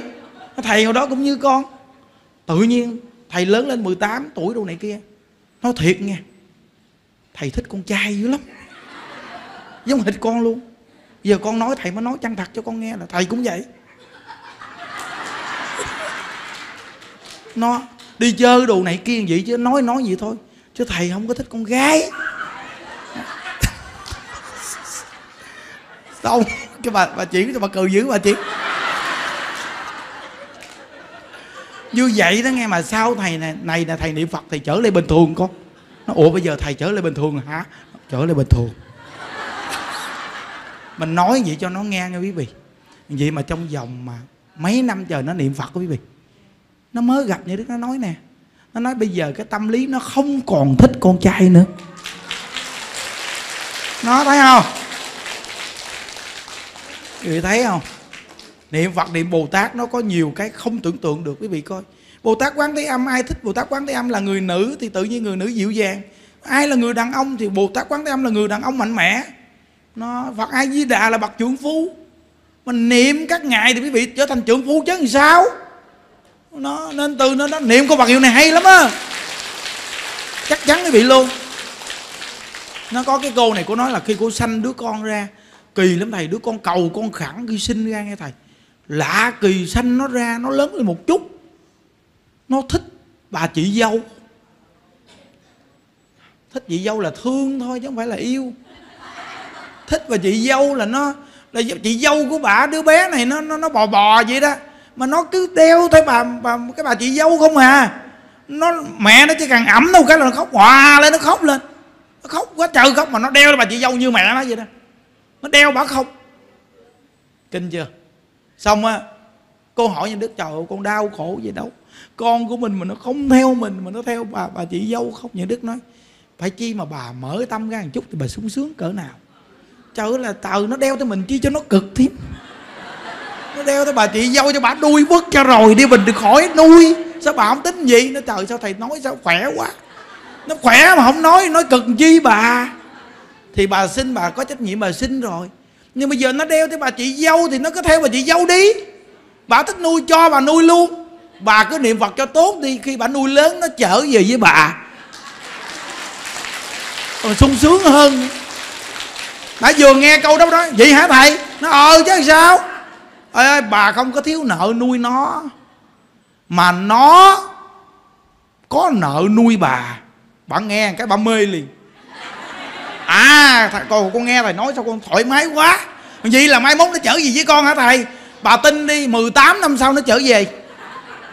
Thì bà niệm phật từ đây tới 18 năm sau thì chuyện đâu còn có đó lẽ lợ nói gì mình bây giờ? Mà niệm phật 18 năm là nói chuyện thiệt chứ không phải chuyện dẫn chơi nghe quý vị. Hoàn toàn nói chuyện hoàn toàn thông suốt luôn. Hoàn toàn tin nhân quả luôn. Cái gì cũng cởi mở được hết cho người ta một con đường 18 năm sau quý vị sẽ thấy nó lợi ích cỡ nào. Tôi chưa được 16 năm nữa, mà nó được kết quả như vậy rồi, không chỉ 18 năm. Còn nếu như 18 năm mà bà không có kết quả, bà lại bà gặp những đức bà nói, con bắt đền thầy. 18 năm mà nó chưa về, những đức nói, bà, niệm phật chưa chân thành. Bà niệm chưa chân thành. Tôi nè, niệm chân thành nè, chân thật tin nè. Bà thấy tôi, bà thấy cuộc đời tôi đặc biệt chưa? Bà niệm chưa chân thành, tôi cho bà thêm 5 năm nữa phải chân thành. Cuối cùng niệm tới về cực lạc luôn. Bật nước phải về cực lạc luôn, chứ sao bây giờ? Đúng quý vị. Đó, cái cách dẫn dắt Phật pháp mà thấy chưa? Ôi, có người mà học Phật mà không hiểu rồi, cái gì cũng thấy khỏe chứ nó đeo theo mình hoài cực muốn chết, bây giờ nó đeo bà chị dâu. Có nghĩa là bà chị dâu là mẹ của nó. Nhiều đời nhiều kiếp mà thiếu nợ nó, bây giờ nó đeo theo nó đòi. Còn bà sinh nó chỉ nợ sinh nhưng không nợ dưỡng. Phải hiểu nguyên lý này. Mình là người học phật cỡ mở hết đi. Đi buồn chi vậy chàng? Càng buồn thì nó càng làm lụy hai bên, khổ hai bên. Hiểu chưa? Quý vị nghe những điều này nghe để trong cuộc đời mình đều là đặt nhân quả vào để giải tỏa. Thì nó hay quá. Quý vị thấy không? Toàn một buổi chia sẻ Phật pháp này tuy nó đau chân một chút, nhưng mà quý vị lấy được nhiều cái hay lắm đúng không đó rồi cái người nói gì còn không đơn giản dùng cái não mà nó quay vù vù vù vù vù vì nói bây giờ không đọc bài gì chứ mà tự nhiên lên mà giảng giảng cái não nó sao Bộ nó hơn đất đi chung nữa chứ bây giờ có nhiều người nói rằng cậu con thấy thầy giảng mà con sợ ghê sợ thầy quên tôi mà quên tôi thì mà quên làm sao là thầy nhận đức à, làm gì quên? Tôi quên đầu này tôi chuyển đầu kia tôi quên đầu kia tôi chuyển đầu nọ. Tôi chuyển tá lả ở binh vậy sao quên? Thấy không? Văn tự là do con người tạo ra. Miễn làm sao nó phù hợp thì con người sẽ tạo ra văn tự của phật dạy. Thì công nhận không? Phải văn tự là con người tạo ra không? Dù là kinh giáo cũng do người hoàng. Hoàng đạo chứ đạo nào hoàng người? Thì văn tự là do quý vị tạo ra văn tự. Miễn sao mà nhìn con người ta tạo phù hợp văn tự là đúng rồi. No. cái đặc biệt chỗ này nè, nhìn xuống không người nào ngủ gục. Đúng là cao thủ thiệt. Hay thiệt quý vị, công nhận không? Không người nào ngủ gục. Nói cho vị nghe nghe. Có một thầy giảng pháp ông giảng cực kỳ hay, cũng rất hay luôn, cũng nổi tiếng luôn. Đến ông gặp những đức. Đến gặp những đức hỏi, tôi hỏi thầy một việc này. Thầy không được nói với công chúng là tôi đến hỏi thầy. Thì những đức nói, như vậy thì chưa linh. Vậy thầy hỏi đi, hỏi gì? Thầy có cái chiêu gì mà giảng mà người ta không ngủ?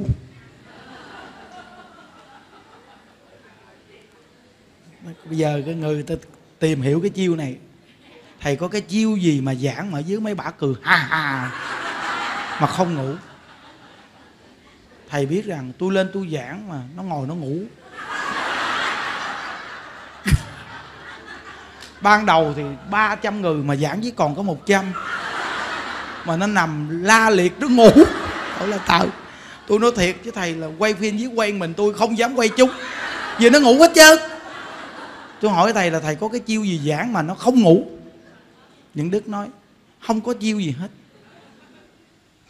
Vậy chứ cách nào? Không có cách gì luôn. Chứ làm sao? Phát tâm ra, đừng mong người ta khen, cũng đừng sợ người ta chê. Đúng không?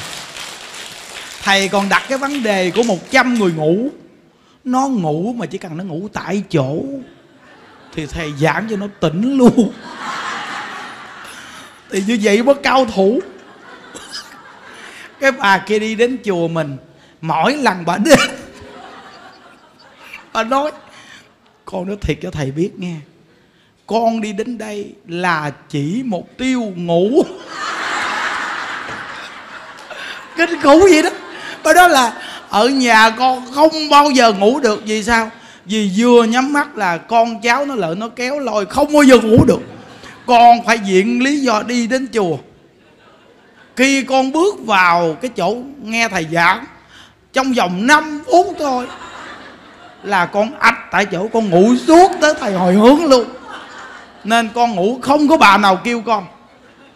Mà có một lần cái bà kia kêu con con nói bà, con nói, bà kêu một lần nữa tôi đạp bà đó tại vì con đâu có tu hành gì đâu mà con con, con nói chuyện đàng hoàng thầy. Thì ai cũng tránh con không ai dám kêu con để cho con ngủ ngon lành luôn. Nó từ từ có một lần con nghe thầy nói một câu mà con càng thích ngủ. Thầy nói một câu rằng ngủ trong đạo tràng vẫn có phước.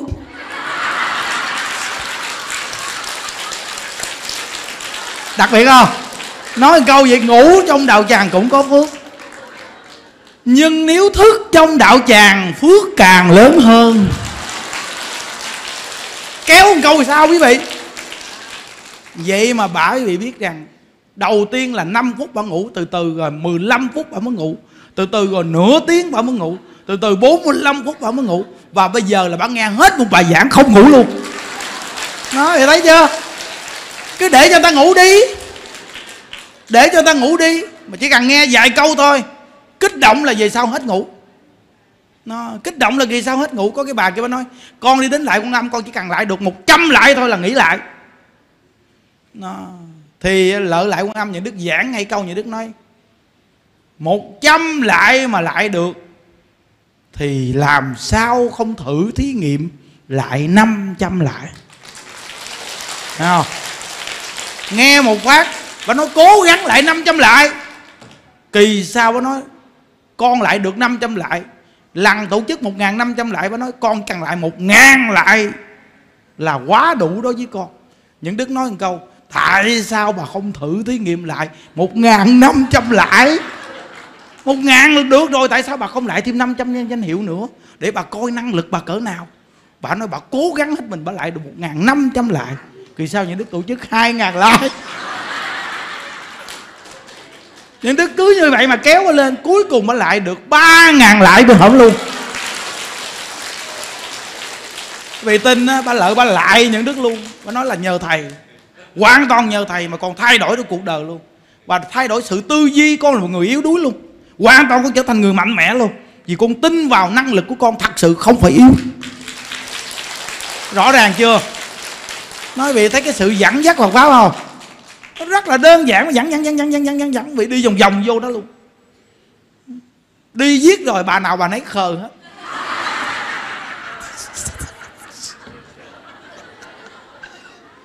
Thì bà khờ trong phật tử.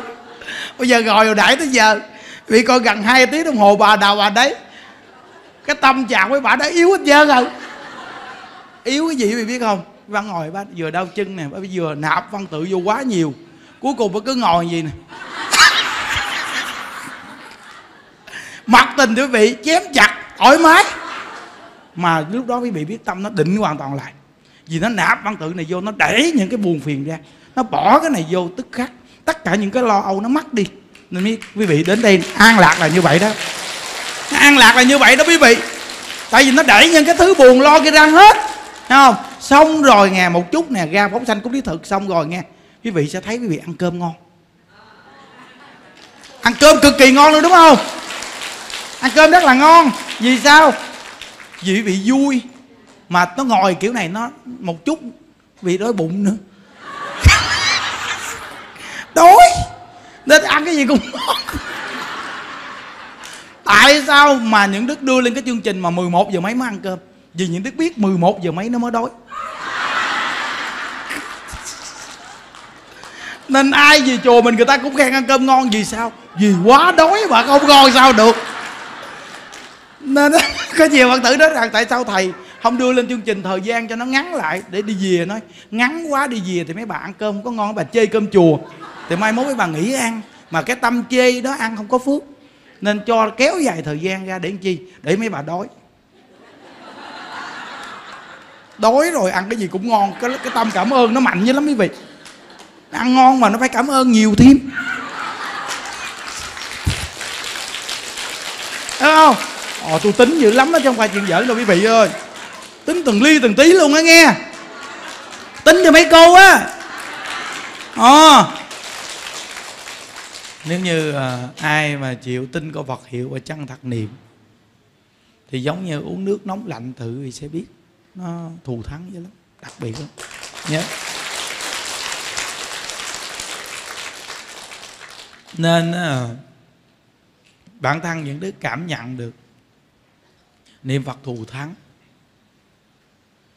Mình ờ, cả đời mình sẽ không bao giờ sẽ đọc thêm ờ, cái gì chứ. Giống như ai sau kệ người ta mà ghi bản thân những đức là, những đức sẽ không có đọc thêm kinh giáo hay trì chú gì thêm hết chứ. Không có làm thêm. Biết sao? Vì bây giờ mình à, tin chuyên nhất để mình đi về cực lạc đi rồi à, khi mình về thế giới cực lạc mình có duyên đi độ sanh ở đâu thì mình đi lúc đó mình thông suốt hết.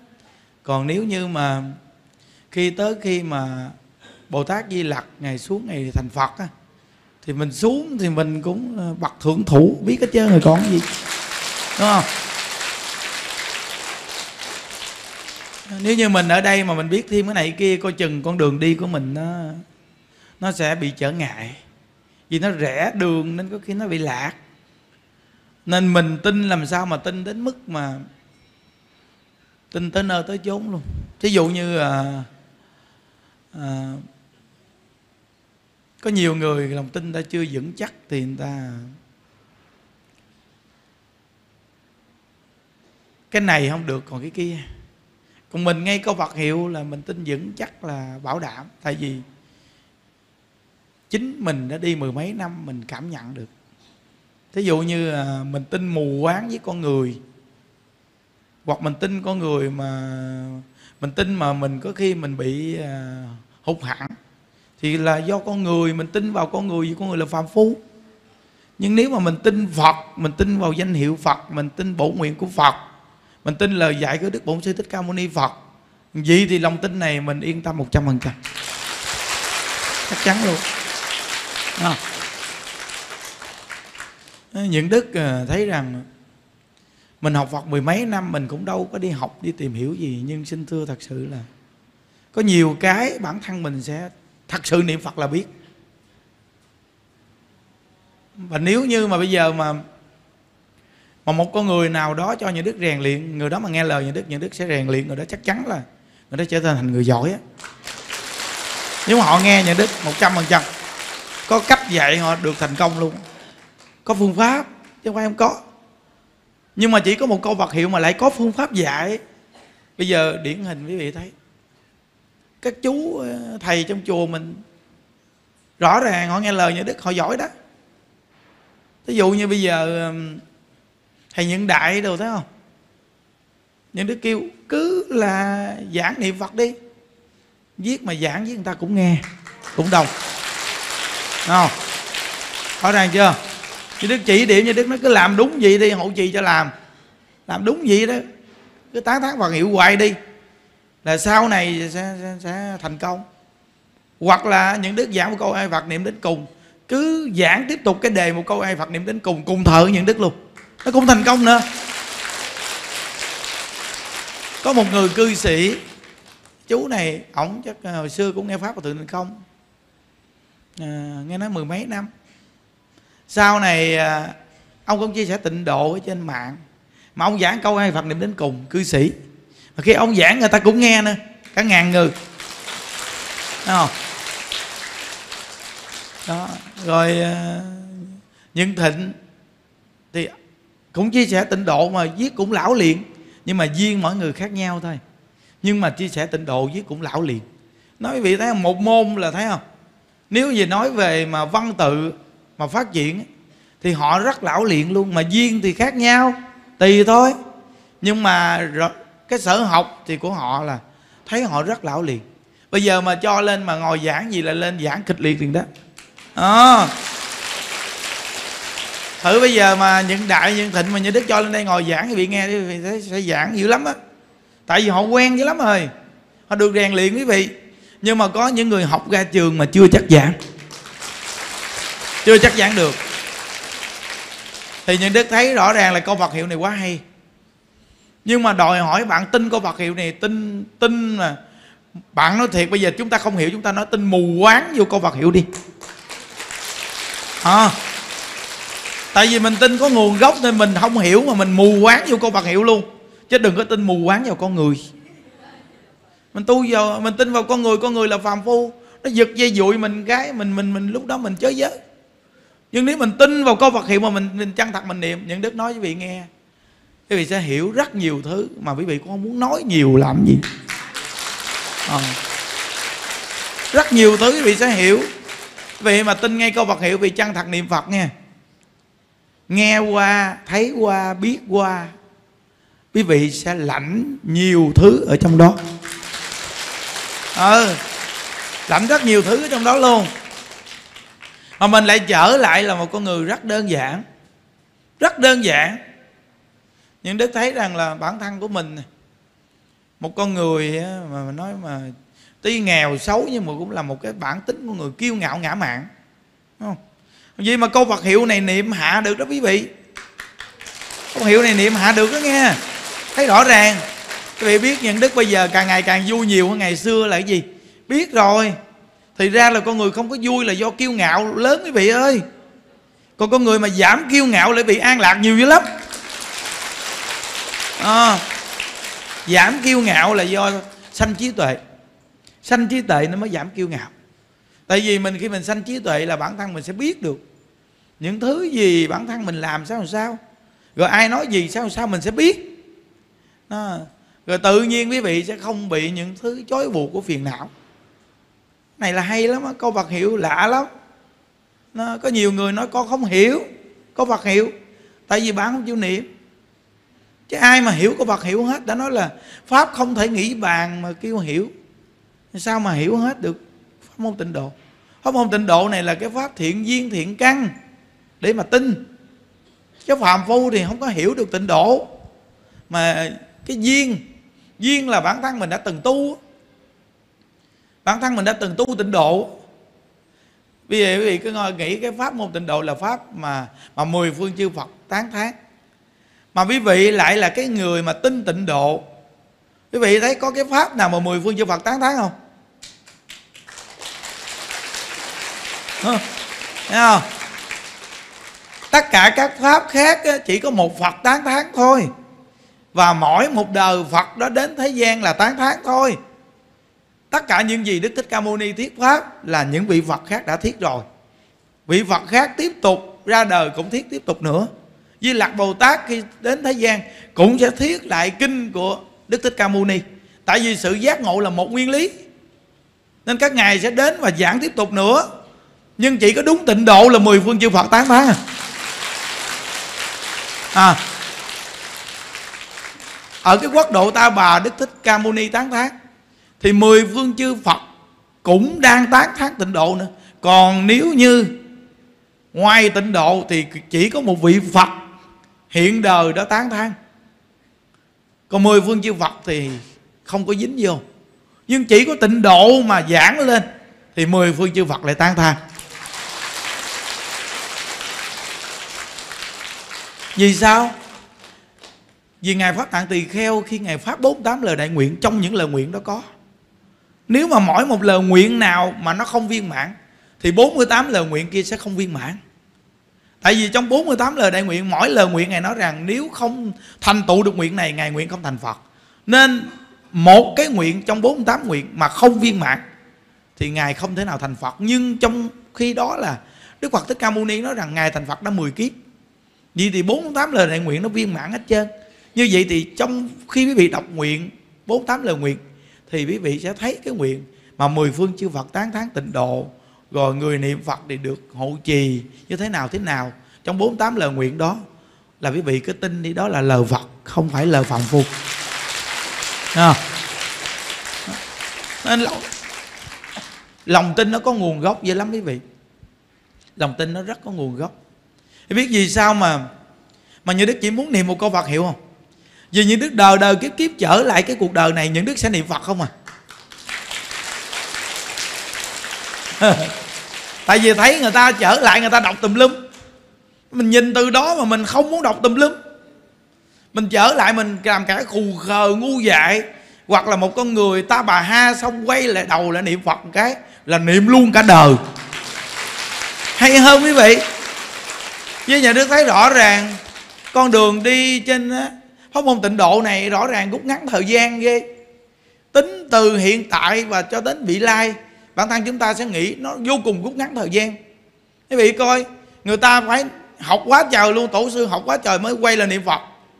Còn nếu như những đức bây giờ gầy dựng cái học thì những đức sẽ đi y gan tổ sư. Khi những đức đến cái cuộc đời này nữa, những đức sẽ tiếp tục đọc tùm lum. Rồi những đức mới đi vào tịnh độ còn bây giờ những đức nếu mà chuyên niệm phật thì những đức đi đến đây khỏi cần học.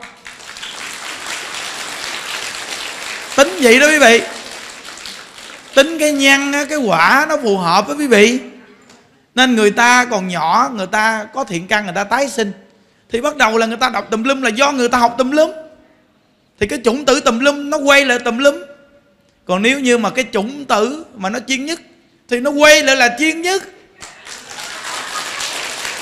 đúng quý vị, suy nghĩ đi.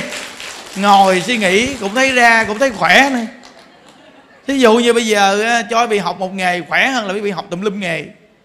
Một lúc mà làm một chuyện ngon hơn là làm tùm lum chuyện. Mình có một vợ ngon hơn nhiều vợ.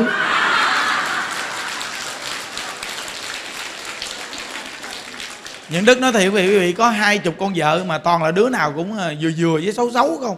Cũng không bằng một con điêu thiền. Đúng không? Thà mình có một con điêu thiền thôi là nó ngon rồi cần gì hai chục con vợ? Cực. Thà mình có một pháp chuẩn mười phương chư phật tán thán còn hơn là 8 vạn 4 ngàn pháp môn đều thông hết. À, đó. Ai đến với mình là a di đà phật ai đến với mình a di đà phật để làm phật. À, nghĩa là chữ a di đà phật này danh hiệu a di đà phật này là nhắc mình giác ngộ đi con giác ngộ đi con mày ba trợn mày khùng điên điên mày ai với đà phật đi để mày giác ngộ đi con. Chứ phật là giác ngộ. Khi mà chồng mình chửi mắng đánh đập mình mình khóc là mình mê. Bây giờ mình ai với đà phật đi con? À, mày mày mày mày buồn người ta là mày mê hoặc điên đảo mày ai với đà phật đi con? Mày bệnh đau thì ai cũng bệnh đau mà mày không biết sao. Phật đã nói là ai cũng bệnh ai cũng chết vậy mày ai với đà phật đi con? À, rồi mày ở giá không ai ngó ngàng đến mày. Vậy là mày không có nợ nần với ai chứ vậy mày ai với đà phật đi con để mày giác ngộ? Hiểu không? Thì thấy chưa? Coi di đà phật hay chưa? Nó. Quý vị nhớ nghe một câu ai với đạo phật này nghe quý vị. Người nữ sanh ra đời không phải người nữ chánh thống. Niệm ai với đà phật thành người nữ chánh thống. Người nam không chánh thống niệm ai với đà phật thành chánh thống. Vì sao biết không? Vì khi vị niệm phật cái phát nguyện sanh cực lạc vị cái nguyện lớn quá. Khi cái nguyện nó quá lớn thì nó dẹp hết những cái tâm nhỏ bé mà đã là tâm nhỏ bé dẹp hết thì nó phát lên tâm bình thường. Hay chưa? Câu vật hiệu này hay lắm á quý vị ơi. Ờ tại vì người ta không đủ duyên thôi á. Chứ quý vị khó giải thích cái chuyện này lắm. Nó cho quý vị biết không phải dễ giải thích đâu. Phải là cảm giác khi quý vị niệm phật là nằm trong câu vật hiệu á. Nó sanh ra. À, thì thấy nhân đức nói chuyện đơn giản đơn giản vậy đó quý vị quý vị thử nói đi vì không biết đặt để vào đâu để nói mà nó phù hợp. Ừ. khi những đức mà, ví dụ như ờ, bữa đó giảng cái bài giảng mà đội lá sen á. Đâu có dễ làm đâu, trời. Chuyện ở đâu có dễ làm. Nó chuyện đùa hả quý vị? Tự nhiên kêu quý vị đội cái lá sen chứ công chúng mà trong khi những đức là người nổi bật với công chúng. Người có tiếng tâm mà vẫn chơi xuống chèn hiểu không? Đội lá đe sen, nhìn ờ, nhìn đó nhìn đó thì quý vị thương thì giống là người dễ thương. Nhưng người mà không dễ thương thì nhìn nhìn giống ông khùng. Thấy không? Tùy theo góc độ nhìn của quý vị thôi. Giống như ờ, hình tròn nhìn theo góc độ tròn là tròn. Nhìn góc độ méo là méo, tùy quý vị nhìn. Cái tâm quý vị, duyên quý vị với người ta. Duyên sao nó duyên theo vậy? Quý vị đã thương rồi. Đó là một cái phương pháp mà nhìn ra căn tính đó. Ví dụ như vị có duyên với tịnh độ vị quý, những đức rồi thương người thương cả lối đi.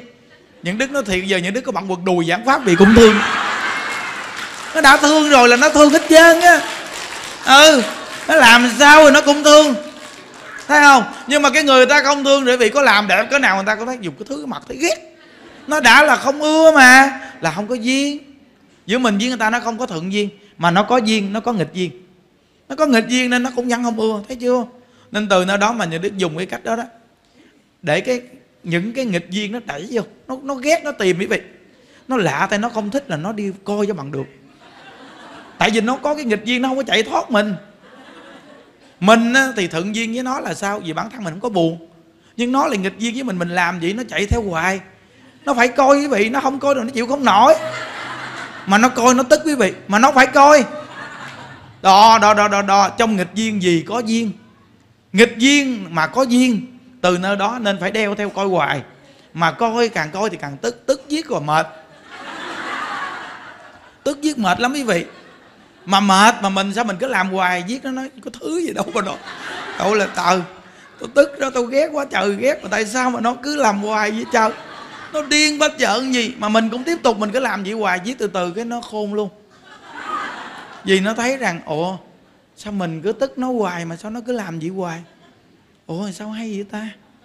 Mà mình phải xem lại mình. Lúc đó là nghiệp nó tiêu thì trí nó sanh. Chờ cơ hội đó đi quý vị. Trời ơi, quá trời nhiều người gặp những đức nói vậy mà. Có rất là nhiều người cái có khi những người ngồi đây nè. Hồi xưa mà mới nghe những đức giảng thấy ghét lắm. Quý vị biết á, cái động tác những đức và gương mặt những đức á, giảng pháp giống như bị sân si vậy đó khi mà những đức mà giảng bình thường thôi, mà những đức mà giảng mà lên đô á, tăng âm á, biết không? Để bị cho thấy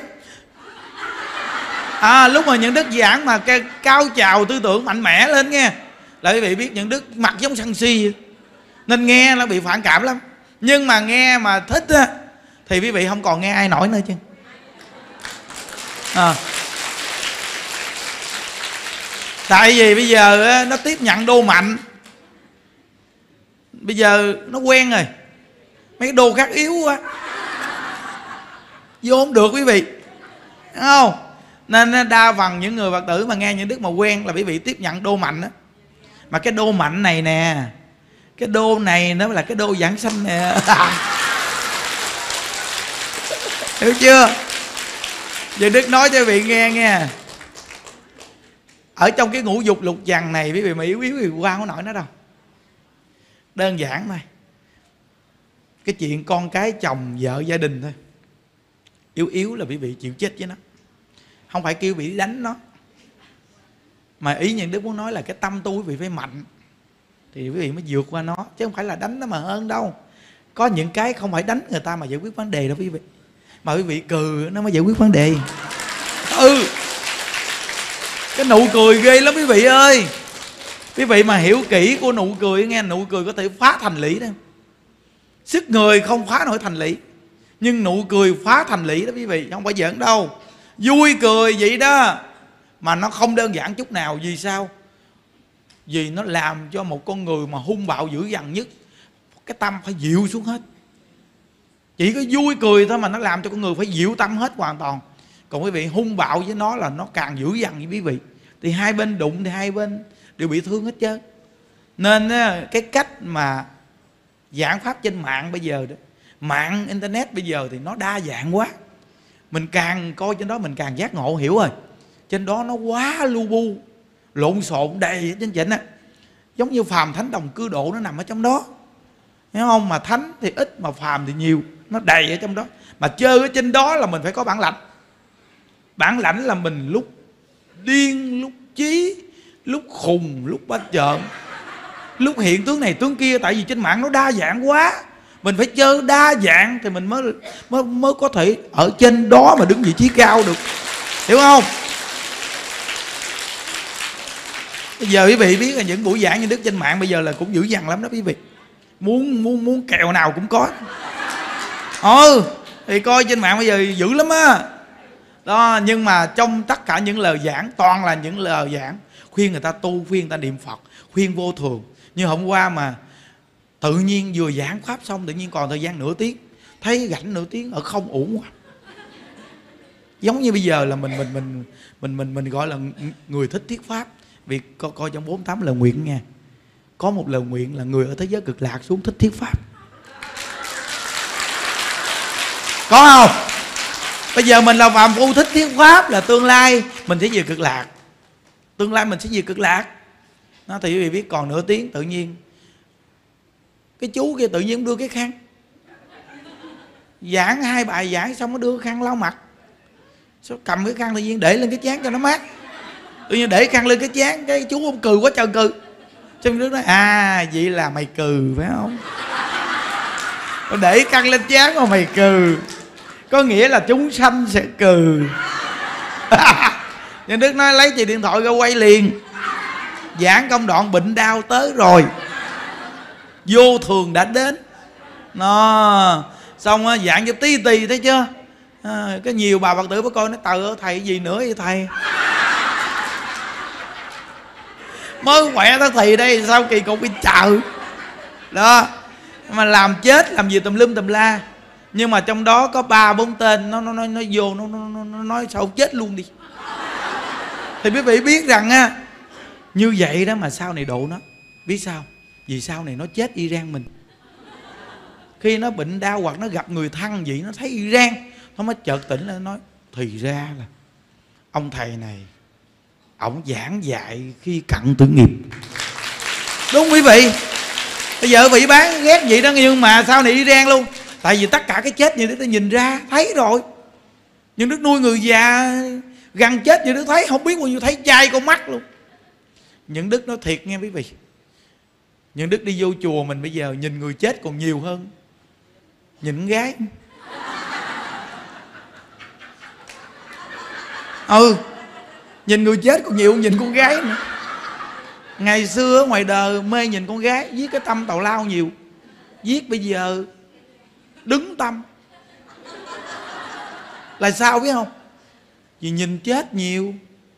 Nhìn chết giết, quý vị ơi, nó đâu còn cảm giác gì với người nữ nữa đâu. Nhìn chết không mà cảm giác gì giờ nó. Có cái cô đó cũng sùng sồn mà mình thì người vui. Nên người ta đến gần mình, người ta cũng thích hỏi những cái điều mà gặp người khác, người ta không dám hỏi. Mới gặp những đứa hỏi, thầy thầy thầy thấy con coi được không?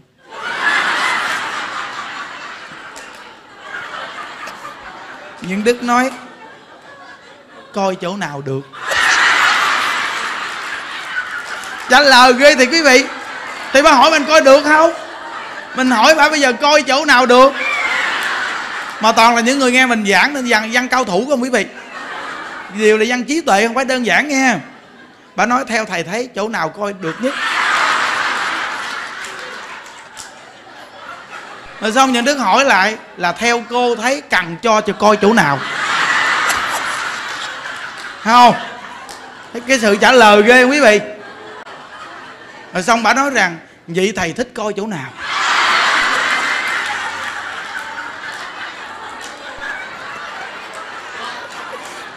Ghê không? Rồi xong mà nói chuyện qua lợi xong. Rồi đầu bà nói nè theo con thấy thì con cũng coi được lắm. Nhưng mà theo thầy thấy con có được hay không? Những đức nói, nhìn người chết nhiều quá, thấy cô cũng giống chết lắm. Thấy không? Đó. nhìn người chết nhiều quá, giờ thấy cô cũng giống người chết. Mà đã là người chết, thì đâu còn cảm giác gì là coi được nữa cô? Thấy không?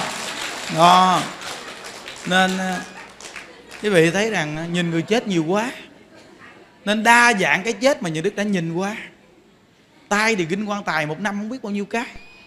Nên nhiều phật tử nói rằng ngày xưa giờ mới thấy ông thầy mà cư sĩ chết toàn là lúc nào cũng có ông kinh quan tài. Giống mình sau này cũng là một ông thầy độc quyền kinh quan tài đó quý vị. À, kinh quan tài một năm kinh biết bao nhiêu quan tài mà nói. Nó giết rồi dự quan tài với mình là bạn luôn cái bà mà bán quan tài. Cái hổm tới giờ vắng bóng. Ít chết. Ở cái hổm tới giờ lâu lắm, cỡ tháng mấy nay, ít chết quý vị. Ừ. chắc lúc này ờ, không có đúng mùa hay sao? Thì như đức nói, các cụ nói là thôi ờ, một là qua cái tháng 11 nha muốn chết thì chết nhưng mà nằm vô cái tháng tết á thì thôi ăn tết qua tết đi rồi xong hết chết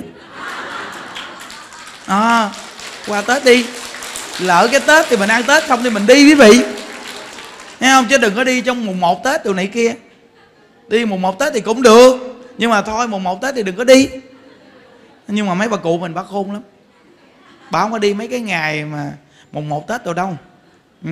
mà có đi thì mình cũng xử lý bình thường. Không có chuyện gì mà khó khăn chứ hiểu không? Đó, thì quý vị biết rằng là giết được cái tâm của người mình, thật sự mà nói quý vị, xem cái chết nhẹ như lông hồng, đã là xem cái chết nó quá nhẹ rồi, thì cái danh lợi cuộc đời còn gì nữa đâu nè. Còn gì nữa giờ? Cái chết mà còn xem nhẹ thì cái mạng mình và cái lời nói mà chửi rủa thì không còn cảm giác nữa quý vị ơi. Những đức nói chú tâm viên giảng đoạn nào mà có ai chữ, nhớ đọc cho nghe.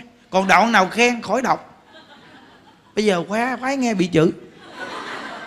Bị chữ là một phương pháp tu đặc sắc nhất. Trong cái cõi đời này quý vị muốn giảng sanh cực lạc, là quý vị phải bị chửi mắng, gầy la, bị chù dập. Tại vì hoa sen này mọc từ trong lửa ra, mà nếu không những sự trở ngại để khảo đạo thì làm sao gọi là hoa sen mọc từ lửa ra hiểu không? Đó. Trong trần cảnh khổ đau mà chúng ta lại mọc ra một đóa sen, vô cùng là đẹp. Vậy thì chúng ta phải phải gặp những cái trở ngại để rèn tâm. Ban đầu thì bị chửi rủa cũng tức lắm, nhưng mà từ từ viết rồi thấy tự nhiên bình thường. Thì thấy hay, công nhận hay.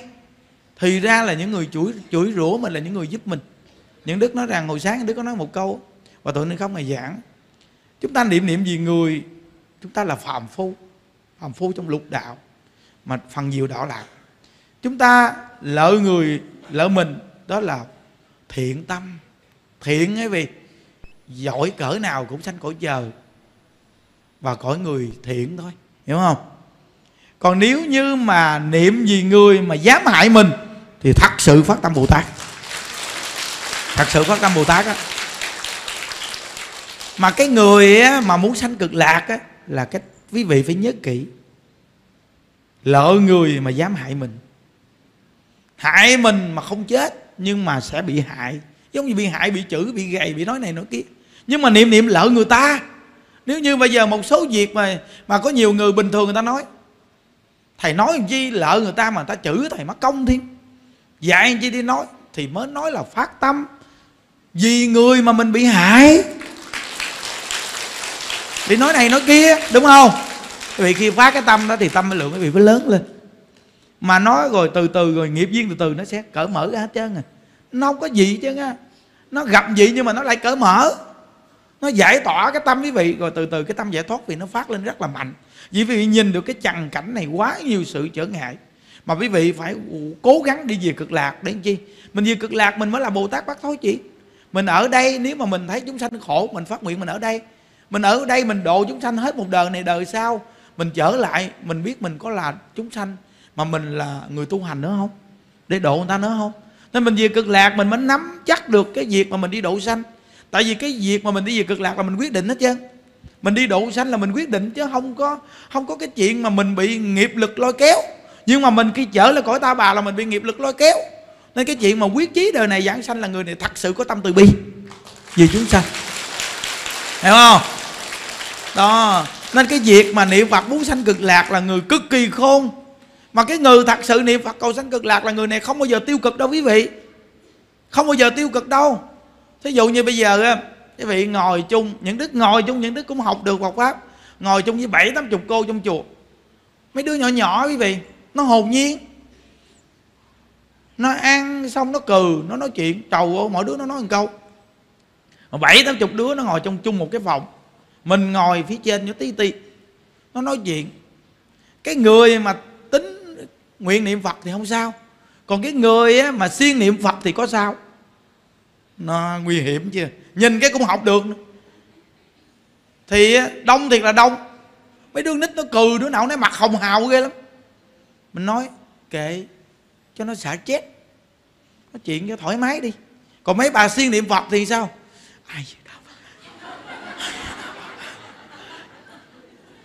thì những đức nói bà làm chi khổ gì à? Làm chi khổ gì à? Nó vui sao bà không vui? Tôi nói đi. Nó ăn quá trời sao bà không ăn? Theo đại đi. Tự nhiên à, bà làm chi mà bà khổ gì ăn, bà thì cũng không ăn. Mà cừ bà cũng không cừ, bà ngồi đó bà nhép môi niệm phật lia lịa chứ. Bà làm chi vậy? Bà nói con chịu hết nổi. Chịu hết nổi. Nó nói chuyện quá. Thầy cho nói chuyện, nó nói dữ quá. Con chịu không nổi. Những đức nói gì sao những đức chịu nổi? Sao những đức ăn được, những đức cười được, những đức vui quá trời được? Mà sao bà chịu không nổi? Bà siêng tu quá trời ha. Bà quá trời siêng tu mà bà để đem câu Phật hiệu á bà lại đấu với chúng sanh. Phải chi bà chữ Phật là chữ giác mà bà hiểu. Bà thấy người ta vui thì bà cười theo đại đi. Thì bà cũng cảm thấy hòa nhập như sữa với nước, hòa với nhau. Còn cái này bà không chịu cười nên bà tổn thất. Bà đi dùng câu Phật hiệu cái lúc đó, bà niệm Phật nhưng mà mê hoặc điên đảo. Bà không phải là người niệm Phật. Cái người niệm Phật không phải nói nhiều cái ít. Nhưng đòi hỏi bạn hiểu cái câu Phật hiệu là gì. Nó là quan trọng tại vì mình không hiểu nên mình đè đầu cỡ cổ mình niệm tá lả âm binh. Niệm viết để cho mà hiểu. Mình không chịu hiểu. Nó, một ngày nào bạn sẽ hiểu. Tại vì câu Phật hiệu là chữ giác ngộ nên trong mọi hoàn cảnh vui khổ bạn đều phải là vui. Mà không bị buộc ràng bạn mới là người giác ngộ niệm phật. Đó. Thì thật sự mà nói thì cái pháp tu nào cũng vậy hết trơn quý vị ô thiền tông, mặt tông, trì chú, ngồi thiền làm môn. Nào cũng là đạt tới cái trình độ mà quý vị trong cảnh viên nào quý vị cũng phải giữ mình. Được vui vẻ. Nó, người ta khóc quý vị giống như cũng buồn khóc, quý vị là không có một cái chút xíu gì trong tâm quý vị hết trơn á. Nó, người ta, cái này, cái kia, cái nọ, tùm lum, bản thân quý vị luôn luôn duy trì được. Tại vì câu Phật hiệu nó giúp cho quý vị giác ngộ thì tu thiền hay là quý vị trì chú gì cũng đạt tới trình độ đó chân á. Đó nên quý vị coi á, nhiều bậc thiền sư hay nhiều vị mà người ta là bậc cao tăng. Vị thấy người ta tu hành không? Người ta tu càng về sau càng già tốt tốt tốt. Cái gì ta cũng tốt ta cứ cừ hoài vậy đó. Tốt tốt tốt tốt tốt tốt. Cái gì cũng tốt. Chữ người ta cũng tốt mà gan người ta cũng tốt cho người ta ăn cũng tốt. Cho đồ người ta tốt khi người ta tặng đồ cho mình. Mình không có giờ từ chối đẹp đẹp đẹp đẹp đẹp, đẹp.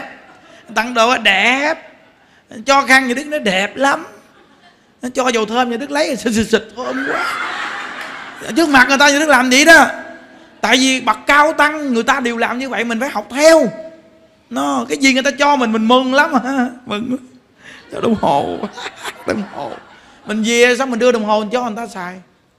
Sữa nè sữa đem sữa cho bà già uống. Thấy chưa? Nghĩa là trước mặt người ta người ta cảm thấy người ta vui khi được cúng đồ cho mình. Nhưng xong rồi mình đem mình cho người ta chưa Ừ, chứ không phải nói mình bắt càng ngày xưa mình cũng có cái tâm bắt càng là tôi không dùng, tôi không dùng. Tưởng là mình ghi gớm. Sau này mình nói thì dùng hết trơn dùng hết trơn á, thì mình với chúng sanh cùng một thể. Cái thể chỗ này không dùng thì cái thể kia dùng. Đó. Thể này không dùng thì thể kia dùng.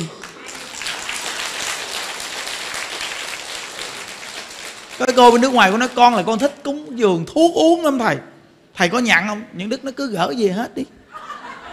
Thầy có uống không? Lâu lâu uống viên chứ. Hiểu không? Mình đem thuốc gì mình thấy ai cần uống thuốc, mình cho người ta uống. Nói quý vị, thấy người ta còn không có điều kiện để đi tặng thuốc. Còn mình có người đưa thuốc cho mình tặng, tại sao mình không làm điều này? Cũng kết được một số chúng sanh, quý vị. Đó, hiểu không? Tu với mở tâm lượng ra hết đi nó, nên cái người này biết niệm phật là cái người sẽ vui dữ lắm. Vui rất là nhiều mà khi vui nhiều gọi là buồn ít. Mà khi mà buồn nhiều thì vui ít. Mà toàn bộ buồn không thì làm gì có vui. Mà mình thường vui không thì làm gì có buồn. Hiểu không? Nó chuyện giống khùng khùng vậy đó mà nó lạ kỳ. Thấy không? Nó nó lờ cũng khùng điên điên vậy đó. Quý vị, đừng có đi cầu cái tiên tri, thì đó là cái xa lắm. Quý vị hãy lấy cái hiện tại mà sống. Ai dạy? Phật. An vui cùng hiện tại, hạnh phúc mãi bên ta. Quý vị, Đức Phật là bậc toàn giác, toàn năng. Ngài nói về nhân quả không à? Nếu như bây giờ Ngài tiên tri Thì Ngài không có nói nhân quả được. Quý vị coi bây giờ quý vị tiên tri cho cái ngày đó Ngày đó nó bị như vậy đó. Nhưng mà bây giờ con người này nó làm ác cực ác Thì cái ngày đó nó chưa tới ngày đó là Nó đã tới trước thời, thời gian. Còn quý vị nói con người này nó hưởng phước thiện rất là lớn nhưng mà nó đi làm ác không nó không hưởng được phước thiện mà cái ác đến với nó nó quay là phỉ bác nên phật nói nhân quả thì từng đời có nói nhân quả. Thì theo nhân quả đó mà giải quyết vấn đề nên thì đức đã từng giảng bài pháp rằng đừng đòi hỏi hình thức công bằng hãy tin sâu nhân quả. Đúng không? Cho ví dụ như hồi đó như đức ngoài đời thầy bói coi như đức cái số ông sau này nhiều vợ.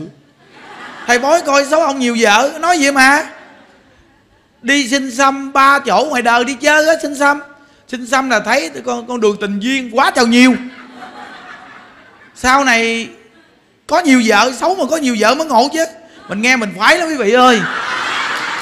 Nghèo nghèo nhưng mà nghe nói có nhiều vợ là mê lắm quý vị. Thấy không? Mình nghĩ là mình có nhiều vợ thì mà, một bên đây thằng em bên đây thằng em. Mình để dưới chân em đúng không? Đó nó, nó nằm xung quanh mình thì mình ấm biết nhiều nói. Mình nghĩ vậy thì mình thích quý vị. Mình thích thì quý vị biết rồi xong rồi nói ông sau này nghe? Vậy nhìn ông này vậy sau này không làm ăn dữ lắm. Cuối cùng đi tu mất tiêu. Thấy chưa? Nó, coi tá lả, bên cuối cùng ta đi tu. Bây giờ có em nào đâu? Đầu còn cạo chọc lóc thấy không? Từ nơi đó, thấy không? Cuộc đời có người, ai coi được cho mình, nếu như bản thân mình làm con đường đó ví dụ như bây giờ người ta nói quý vị đi tu mà quý vị đi đi hướng theo cái chuyện, đi đi làm ăn. Thì bị hướng đến làm ăn không? Nhưng phước duyên vị đi tu thì vị sẽ là đi tu. Nên cái nhân cái quả là phù hợp nhất. Chứ đừng có tiên tri cái gì trước thời gian. Vì tiên tri trước thời gian, có những người ta nghĩ điều đó là cái điều mà giúp cho người ta để nghĩ, điều đó nguy hiểm ngày đó ngày đó để người ta thiện. Nhưng mà con người phạm phu tới thường nghĩ ngược lại. Nó nghĩ rằng ngày đó đã là như vậy thì bây giờ phải dơ phải ăn nhậu, để làm chi? Để khi chết rồi thì cũng xong. Nó nhiều người nó nghĩ ngược lại vậy đó quý vị. Và thêm một cái nữa, giống như liễu phàm ngày coi ngày vậy được rồi ngày yên đó ngày ngồi im luôn. Ngày không phát triển gì nữa luôn. Phải chi mà không coi ngày thì ngày lại phát triển. Ngày lại cố gắng nỗ lực, nhưng mà ngày lại ngồi yên đó. Nếu mà không có văn cốc thiền sư, thì làm sao mà thay đổi được cuộc đời cho tiên sinh liễu phàm? Nghe hay không? Quý vị mà nghe những đức giảng vì để ý đi. Quý vị cho thấy những đức cái lý luận mà những câu mà từ xưa tới nay những đức kết hợp kết hợp lại. Đức lý giải cho quý vị nghe xác thực vào cuộc đời quý vị luôn. Nó nên cái chuyện tin sâu nhân quả là cái việc hay cực kỳ hay. Nếu như quý vị là người chánh tính học Phật hiểu biết đó nghe trong cái cõi đời này quý vị sẽ nhìn sơ qua quý vị biết được tất cả những cái việc như là mê tín rồi dụ dỗ rồi à, cái này cái kia quý vị sẽ biết hết trơn chỉ cần quý vị có một con đường chánh tính thôi. Chỉ cần niệm phật tại vì chỉ nhìn ra hết trơn. Thôi chúc quý vị an lạc nha quý vị. Quyết tâm về cực lạc nghe à, chúng ta chắp tay hồi hướng quý vị. Nguyện đem công đức ờ, này hướng về không tất ờ, cả đệ tử và chúng à, sanh đồng à, sanh à, về tịnh độ.